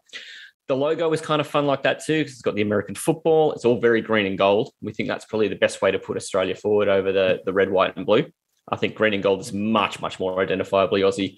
Yeah. And it's the shirt in particular is like, well, that's clearly just us ripping off the US flag and making it as Aussie Yeah. as hell. So there's kind of a bit of a, a crack like that. And we, we've done that with a bunch of stuff. And I, I think it's the funnest way to to try and uh, play both parts and be like, hey, okay, so US, there's heaps that's familiar here. Aussies, there's heaps that's familiar here. Um, come and experience the part that you're not so familiar with in a really disarming way. So who came up with the logo? It's all Matty, right? It's mainly me. Yeah. I love logos, by the way. Every guy, I've got what is it, 14 fantasy football teams, and I've created a custom logo for every single one. I just love logos. Yeah. Go man does all our sections. Yeah. Go through some of your name final, uh, the finalists for your team names for Astro next year, mate. Oh, bloody Yeah. hell. Talor has given me, this is just something from last year's show too. Talor's given me, He, he he announced like halfway through last year that he he's done with his team name in Astro. Yeah, you it's know, gotta go. he's, he's had a couple of years here. He hasn't made the finals. Blah blah blah. So and he I'm and he put proud out franchise, mate. Team names, and so I I brought it upon myself because you know being the you know the professional that I am. And I heard a call from him that he needed some brilliant team name advice. So I brought a team name every single week to my segment. And uh, Matty For can take it away brought with a new some of name. the wonderful names that I brought up. I don't know how he's going to make a decision because they're all just fantastic. a couple of them are great. There's the Carabao Quacksuckers, which is pretty much just, you know, I was the Carabao Kings. Carabao Comebacks, because I won a couple of games in a row. The ACT Assholes, thanks for that one. The Western Wankers. yep. The ACT Ass Clowns. The uh, Gungahlin Goobers, that's the part of Canberra I live in. The Wankers who are just wankers. I love that one. That, that's, that's got a Straight up wankers. That, that doesn't. Yeah, I've got a about ten to choose from, and I've made logos for all of them, by the way. so we'll put it to a fan vote before the season starts. Gosh. Uh, now, what does that? What does that last one look like? Hmm. oh gosh. Okay, hang on. I'm going to Okay. send you, Marv, in the Instagram. Dare I look? I don't think you want me to share my screen, but You'll lose. You'll lose your clean rating. Bro, I don't this know. is We just spent a solid minute with me just using casual swearing there. yeah, it's the clean rating's gone. yeah, we, we were clean for so long, guys. Come on. I'm going to send Marv this picture with those nine logos on it, just in his Instagram, and see how he handles this. Oh shit! Oh, I'll sh- send it to you two boys too. yeah, send it to the group chat. I did not Oh, see he's this. done it. He's like, yeah, of course I have. I'm a man of my word, Marv. I all right, all right, here it is.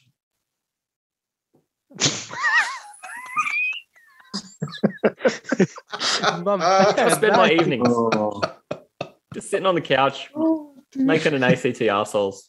One. I haven't got in there the Arseholes. Gary glory holes. This is one that Talor also suggested. Yeah, that was an extra one. Yeah. Um, yeah, no, it's, it's a showstopper. I'm keeping it under wraps. No one's seen it. No, not even Talor. I've shown him everything else. I haven't shown him that one.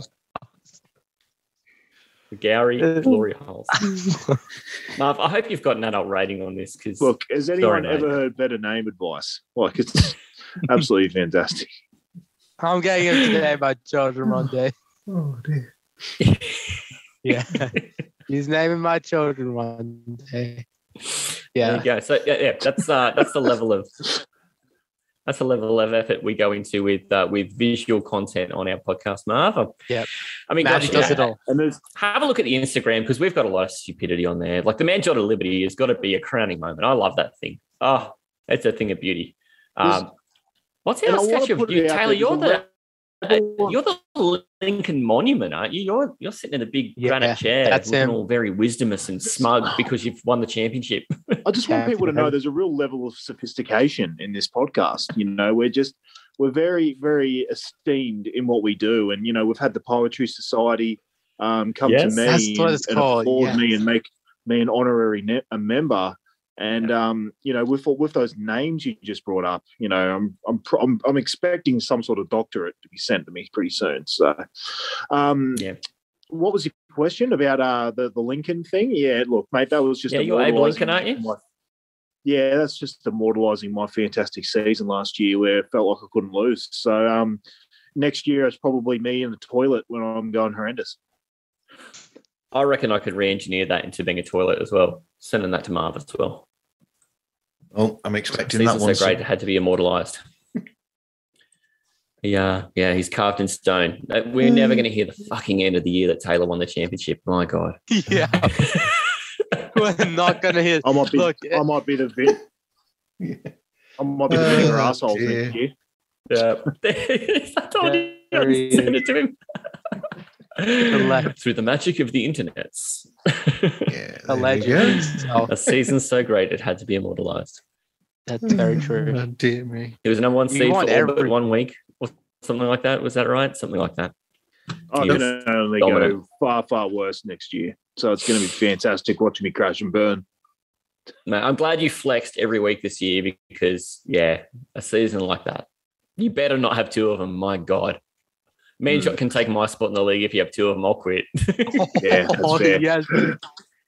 Oh, now Manjot's found a way in. He's he's Everyone poison thought I was away. annoying when I won two years I- in a row. Imagine how annoying you'll be.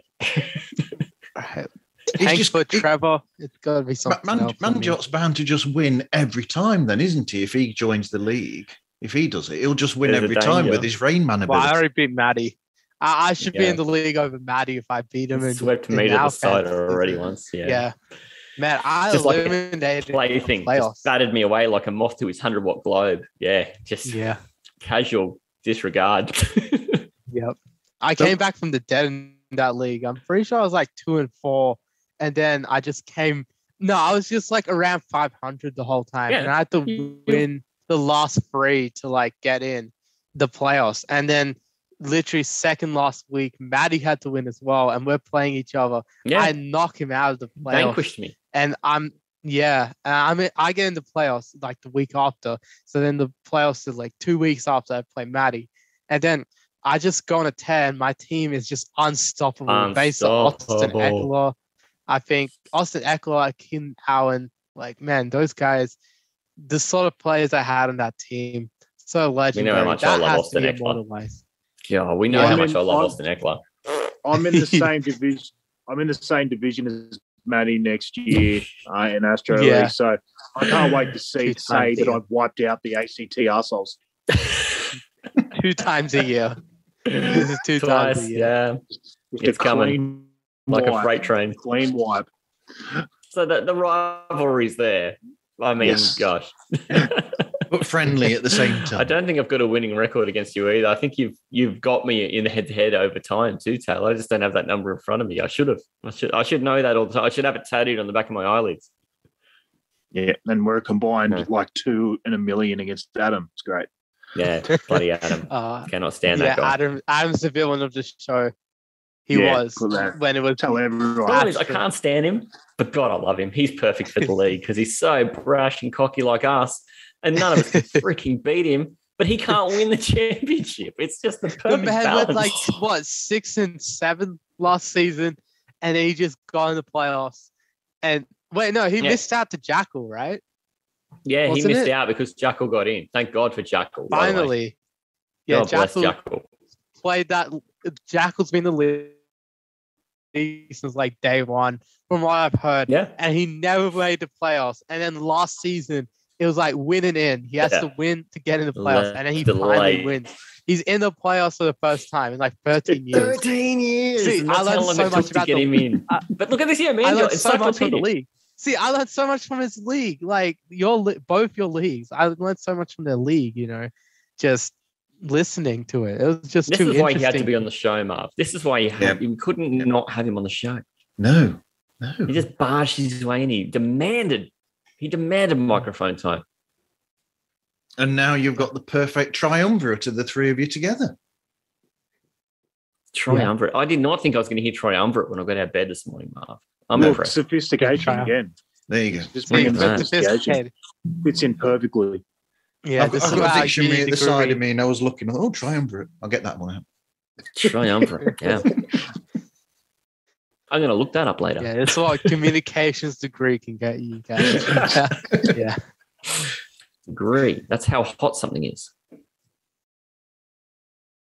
Hello, my name is Ben Burrell, and this is Bob Dylan Album by Album, a podcast that looks at each Bob Dylan studio recording, funnily enough, album by album. We're going to produce an audio essay or a mini documentary on every single recording, looking at the recording process, also the themes on offer, and the musicality of each record as well. If that sounds like something you might want to listen to, then feel free to check out episode one. It's on Bob's 26th studio album, Oh Mercy, which is a fascinating record not only for the music on offer, but also for how it fits into Bob's back catalogue. Have a look at that and let us know your thoughts. If you want to continue the conversation, we're available on Instagram. You can find us at Bob Dylan Podcast, and you can find me on Twitter at Ben Burrell. Thanks for listening and enjoy. So, what advice would you give to people if they wanted to start their own podcast? Manjot's on every podcast under the sun. I think he should get this one. yeah. Just all right. All I think right. he's taking Joe Rogan on. podcast- Wow, I, I'm I'm the podcast expert here. Wow, and I've been You doing are? it less time. yeah. So, advice I'd give, I, I reckon just have fun with it. Just talk about things you like to talk about. You know, things that are interesting, and you can't really expect that sort of big audience. I'd say even for like making an Instagram page, I can use that sort of thing too. So just making your own content, the podcast, Instagram page, you know, any social media page, yeah, YouTube channel. Like I guess just have fun with it. The audience comes when it comes, and you know, you'll find your own people. I think the best part definitely is you meet people along the way. Like I met today, I meet Marv, you know, great guy, great lad from England, you know, absolute legend. You know, I met Matty and Talor, you know, just talking about football. You know, I I reach out on Instagram, meet more people like for DMs. Yeah. So it's just it's a great experience. With starting a podcast, yeah. I think just just yeah. I mean, not don't be too worried about the audience, but I guess you know, just be grateful for the audience. Yeah, you meet along the way, like the people you meet along the way. I reckon. Cool. I I just say if you if you're not enjoying it, then you're not doing the right thing.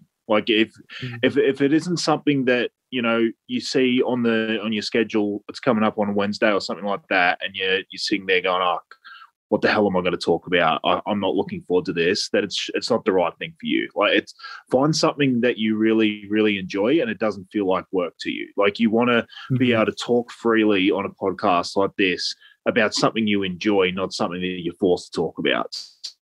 So I, I would just say find something you really really enjoy and something that seamlessly comes out of your mouth. It's not something that you actually have to sit there and think about um, and, and, and just enjoy yourself. Like me and just said have fun. Um, no one's forcing anyone to get on and do these podcasts. Like if you're not having fun it's just it's just stupid being on one. So just yeah. just enjoy yourself have fun and you know that's all i can really say because I, I, know i have an absolute blast doing these and i don't i, I look forward to it every single week put it that way 100%. so that, I, that's all i could say Matty felt it. what do people no. like listening to when they listen to a podcast themselves well that's a good way to design a podcast that you think is going to be worth listening to yep. and i mean the podcasts i enjoy the most are definitely from people who are talking about a passion subject. For me, American football is definitely that. There's 100 million people who talk American football. Um, so let's get a bit more specific. What's something I like that's a bit more specific than that? Fantasy football, not as many people talking about that. I mean, that's blowing up. A lot more people are talking about it now. But it was something where it's like, well, still there's a fun in doing that because it's not something that's native to us. And and I mean, you, you, can just hear from these guys. Poor, poor Omar, he's just had to listen to us pretty much take over a show because the subject comes so naturally to us. We all care about mm. it. We don't just like it, we kind of live it. I mean, yep. my phone pings at three in the morning with Adam Schefter telling oh, me some chump has signed in Nowheresville, a guy I've probably never even heard of. But this is a level of wanting to to be involved in all the time, and um, and, and not a day goes by where I'm not consuming some content that's going to make me smarter to be able to just talk really freely about it and surround myself with people to talk really wonderfully and freely with. I think the, the shows that I've enjoyed the most in our genre that helped me think about how how making a show like this could really work are people like the big ones like ESPN has a fantasy football show that I've been listening to since it was only a podcast and not a very Matthew, successful one. Matthew Berry. Matthew Berry. Yeah. Stephania Bell, who's the injury analyst on that, and then a cavalcade of third people, but over time has become a guy who's actually a really well respected NFL insider um, they all talk like they're just best mates. They really do. And they've known each other for a heap of a long time. And took a little while for them to get the chemistry together, but they they have it. The fantasy footballers, who are also an American set yes. of guys who started a podcast about their own league, kind of like where we started. Yeah. And they built on it and built on it and turned it into a full-time job because the market needed it and they provided the product. Does the market need three Australians doing it? Don't know. Maybe not. Uh, we're also not trying to turn into our life. It, it, at the moment, it is really just a passion project that's fun. If it turns into something bigger than that eventually one day, that'd be really terrific. Not going to hang my hat on it. Just really enjoying the fact that this is something that we can do as a passion project, and three of us enjoy doing. And and like this, we fill up a whole like 40 minute Zoom session before we even start our show of just the energy and excitement of being in the same yeah. room together each week we fill that with nonsense. We'll talk all other sports. We'll talk about what's going on in our lives. We'll talk about just nonsense things that have happened in our week. And then, yeah. then all of a sudden, okay, oh, okay, well, we better get our shit together for the show.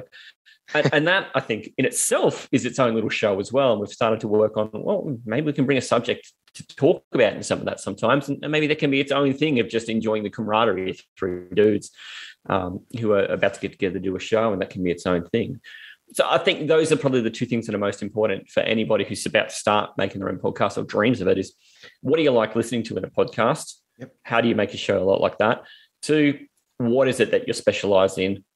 It's easy to talk about where you don't have to really rehearse and think about it over and over again and turn into some sort of robotic creature on the end of a microphone for something you can enjoy and talk really freely on. So I think they're just the two hmm. key things.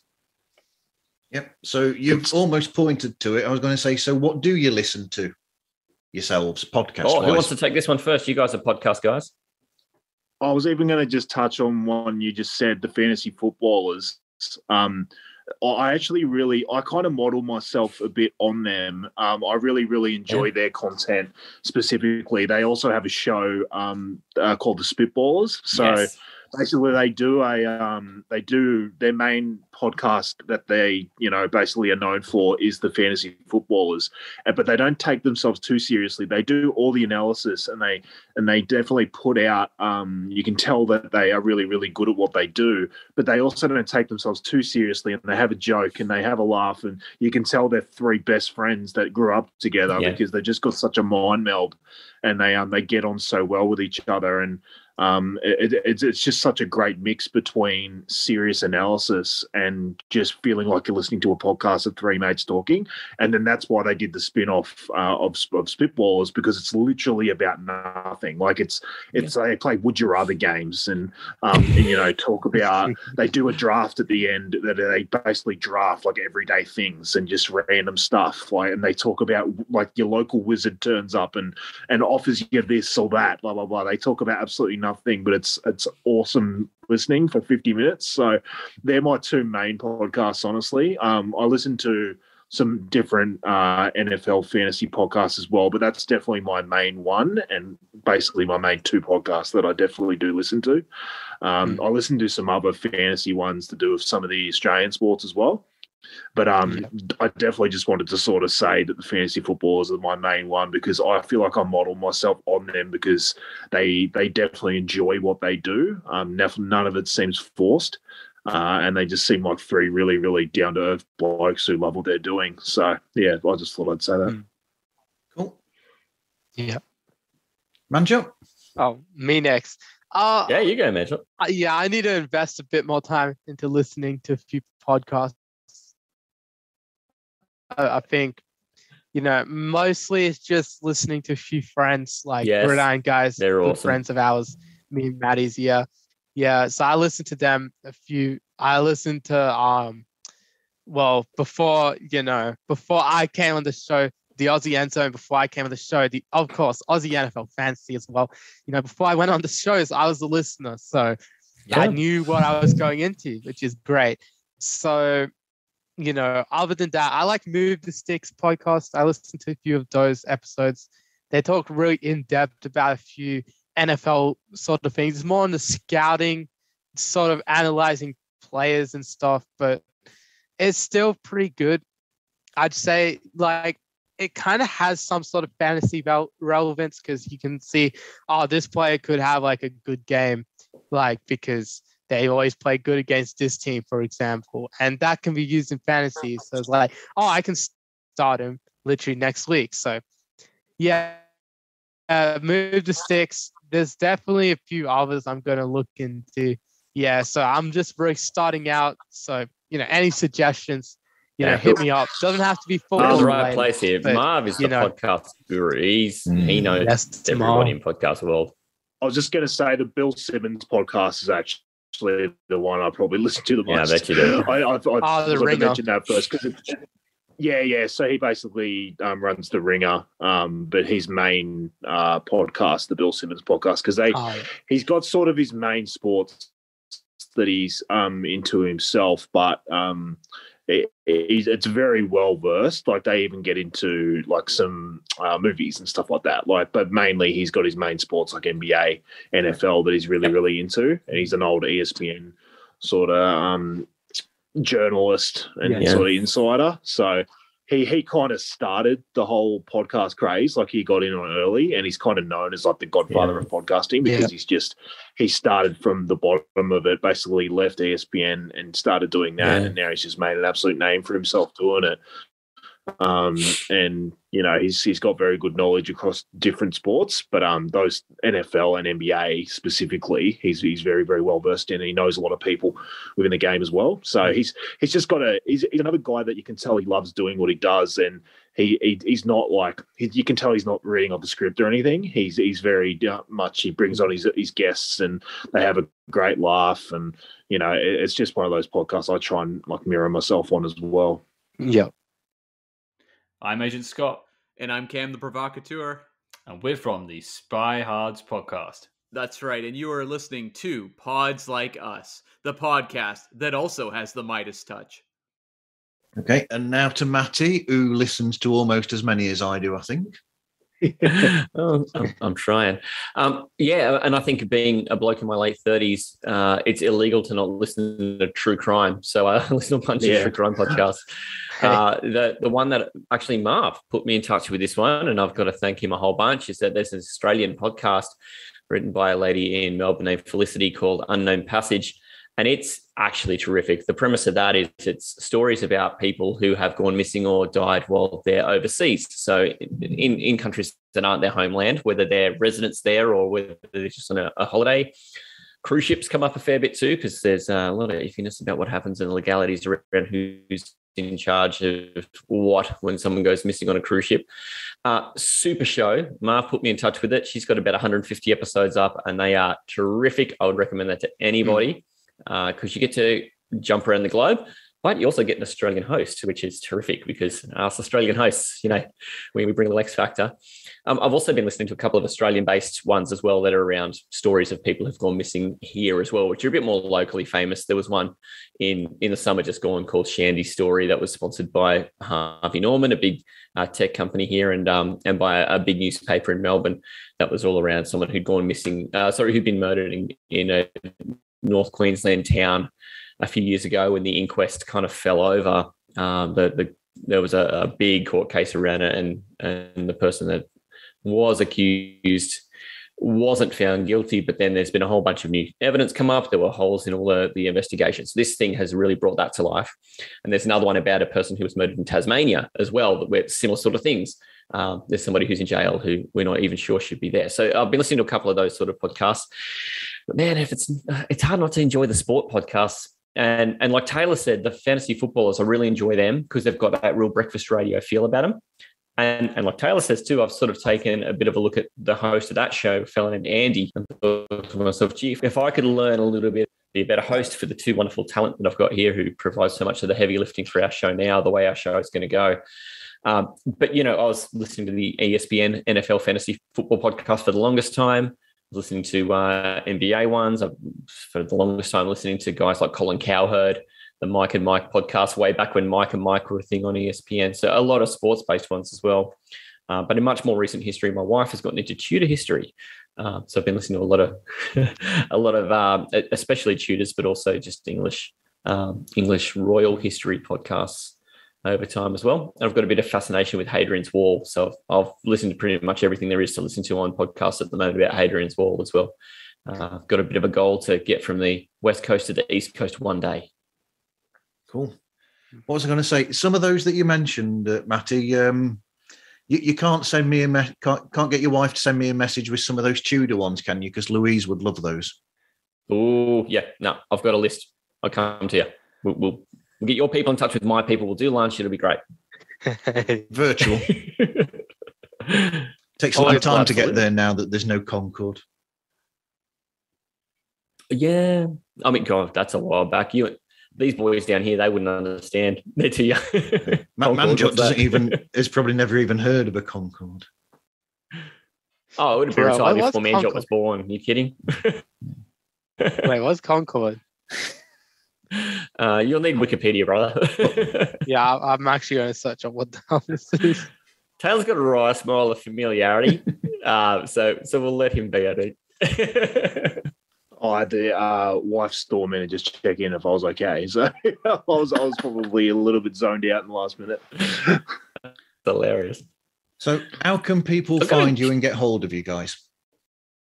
Oh, got to give this to Manjot because he's everywhere. Go, Manjot. Look, Instagram at Aussie NFL Fantasy on Instagram. Uh, there's also the Twitter page at, at Astro League Pod, but it's Aussie NFL Fantasy on Twitter. Um, you know, Facebook, we're redeveloping that, We'll but there. it's still Astro League 2021 on Facebook, but we're redeveloping. You know, we got we got the um YouTube going up, Aussie NFL Fantasy on YouTube. Just search us up there, you'll find us. And TikTok, you know, TikTok at Oz, Aussie NFL Fantasy. It started today, Yeah. literally today. What about all the pastry press, brother? You got to hit that. You got to hit the Aussie end zone. Oh, okay, okay. You got to put All right, Manjot yeah. out there, mate. Yeah, okay, okay. We gotta put the man Met the legend. legend out here. Yeah, so yeah, the Aussie end zone, you can find that pretty much everywhere. Like, oh yeah, I forgot, you know, Spotify, you know, Apple Podcasts, Google Podcasts, any podcatchers, Anchor, you can find Au- Aussie end zone, Aussie NFL fantasy, you know, on there. Um, same with like Broncos Faithful podcast. If you're into rugby league, that's that's my new thing. Yeah, but you know, my main sources for myself is um Instagram. So uh at pastry press NFL and at pastry press sports. I think pastry press NFL is kind of dying right now because pastry press sports, there's one post where I literally predicted an NBA playoffs um series and it's literally got 900 likes and nothing on Yeah. pastry press NFL touches it. So it's like literally my second account is yeah, I think pastry press NFL a bit washed, but anyway, we're coming back strong. Don't worry. But we're, we're gonna have some good collabs with Aussie NFL fantasy. We're gonna have some good collabs with the Aussie end zone. We're gonna get it up there. You know, um, yeah. There's a Facebook page, the Pastry Press NFL, which I never, which is uh reposts of like Instagrams, and I, I just never bothered to spend time on it. Uh, I do have a Twitter at the Manjot T. Look, I, I messed up when I made Twitter, and I just I, I should have been like the Manjot M, but it just it- I was trying to write out the Manjot the myth, the legend. Obviously, that wouldn't fit in a Twitter handle, so yeah, I messed that one up. and then what else? Yeah, I got TikTok too at Pastry Press Sports on TikTok. That's where anything for my Instagrams just goes on there. So yeah, yeah, it's good. I'm everywhere. I guess I'm kind of like everywhere. Eddie. Yeah, it's like how He's they the most say it- famous Australian at the moment. No, now that Shane Warne is gone, RIP Shane Warne. Manjot was number Rip two. Shane now Warne. Manjot's number one. Yep. Yeah. that's true. Paul Nobody Hogan, more you've famous. got to Kylie Minogue actually not Australian anymore. She's English now. So yeah, it's now clearly Manjot and Daylight to second. Yeah. And Paul Yeah. Hogan's not got any chance. No, I don't think we count him as Australian anymore. Anyway, I think we've pretty much said you're a Kiwi after all that tax evasion. We, we don't want you. Oh yes. Talor, where do we find you, mate? ah, Talor. mate, who who knows, mate? I'm just sort of floating around. the nearest Um, pub. Yeah. I'm just at Talor41 on Instagram. You want to hit me up and abuse me because I'm always writing on someone else's posts about something stupid they said. Uh, pretty much the same on Facebook. Uh, just Talor Goodall. You'll find me posting, you know, someone said something about my fan, about my uh, Dallas Mavericks or something, and I'm Yeah. abusing them and you know talking about Luka being better than anyone. Um, so yeah, you're pretty much going to find me uh, just at my name on those two. You're probably not going to find me on Knights, yeah. TikTok. I uh, I'm pretty much getting forced into having a TikTok just because we've got one on this. So I'm, um, Yeah, I'm I mean, though I- I'm Oh, we're all going to learn it. We'll, we'll, I'm not the oldest out of us three, but I feel like I'm the most curmudgeon Like I I'm love 30, that idea. I'm Well, 30, you two I'm are 32 going, 32 going on 83, basically. That's well, my friends actually was saying the other day, one of my friends was just like, I'm sure Matty and Talor like 28. There's no way they're like 40 and 32. There's no actual Yeah. way. Yeah. Yeah, the 40's coming. The 40's coming, that's good. Yeah, like a freight train. You see, Oh, Yeah. and you're going Having over to video as well. And I actually Well, got to agree. You guys got that sort of. Yeah, energy. you'll be able to see the grey in the Yeah. beard. It's coming. Yeah, it's. I Can't can't hide. this The beard. the nose, the And nose I'll job's coming beard. soon. Yeah, God, I'm starting to realize all the imperfections. Uh, not that I didn't know Yeah, already. This is why radio was my my- medium. This is why I was on radio. Yeah, just I have to get rid of my get rid of my eight chins as well. That'll be good. I'll, I'll stick to audio. yeah, Marv's got it worked out. Um, I'm trying to think where hasn't Manjot mentioned. Um, so we've got all the Aussie NFL on Facebook, YouTube, Instagram, uh, TikTok, Spotify, Apple, Podcasts, Google Podcasts, Amazon, Stitcher, Yeah, yeah. all of them. Um, for me, I've Yeah. I've got a my own Instagram, which is mainly I, I run marathons in my spare time because I'm really not a well person. So that's something I do for fun. Um, and you can find me there at Queenborough Matt. But um, I've actually I've created a page about Matt, the podcaster, and it, it, talks a little bit about some of the things going behind the scenes as a podcaster. My life, I'm I'm a dad of two kids. I, I run a bit, uh, and some of the things that go on in, in life behind the microphone, and that's at Matty Podcast. Um, and you know these guys kind of get dragged into that a little bit sometimes as well. But uh, yeah, really, our, our front facing stuff is all very much if you just bash in Aussie NFL fantasy, we're going to come up all over the place. I know I've tested it. I was on Google today testing it to make sure when we talk to you today that that would be what happens. Um, and hopefully, our content there is is fun to interact with. We've been, you know, we've been really messing around with the culture clash stuff. It doesn't get much more culture clash than having three blokes talking American football on a British podcast. I mean, come on. There we go. Where where else are you going to get that? Yeah, um, absolutely. So you know, you've been really gracious to have us on, Marv. I very nearly got Greg from Bad Counsel on as well to come and talk to you if he'd have been awake. that would be awesome. I love Beck. I didn't mention them in my podcast listens. They've got like 80 yeah. episodes. I've been listening to them since they were back in the 20s. Bad Counsel. Wow. Oh, that is the best nonsense podcast ever. If yeah, I don't, I don't have a bad word to say about Bad Counsel podcast. I've got a t-shirt of theirs. They've got a laptop sticker. I love Bad Counsel. They're awesome. Absolutely. Anyway, thanks for chatting with me today, guys. Yeah, 100%. Thanks for having us. Sorry.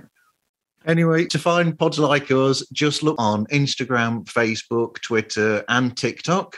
And you can also find me on Patreon if you want any extra episodes that uh, don't go out as main episodes. There's some extra bits and bobs and all sorts of stuff that goes on there. But until next time, thanks everyone for listening. I hope you listen again to another episode of Pods Like Us.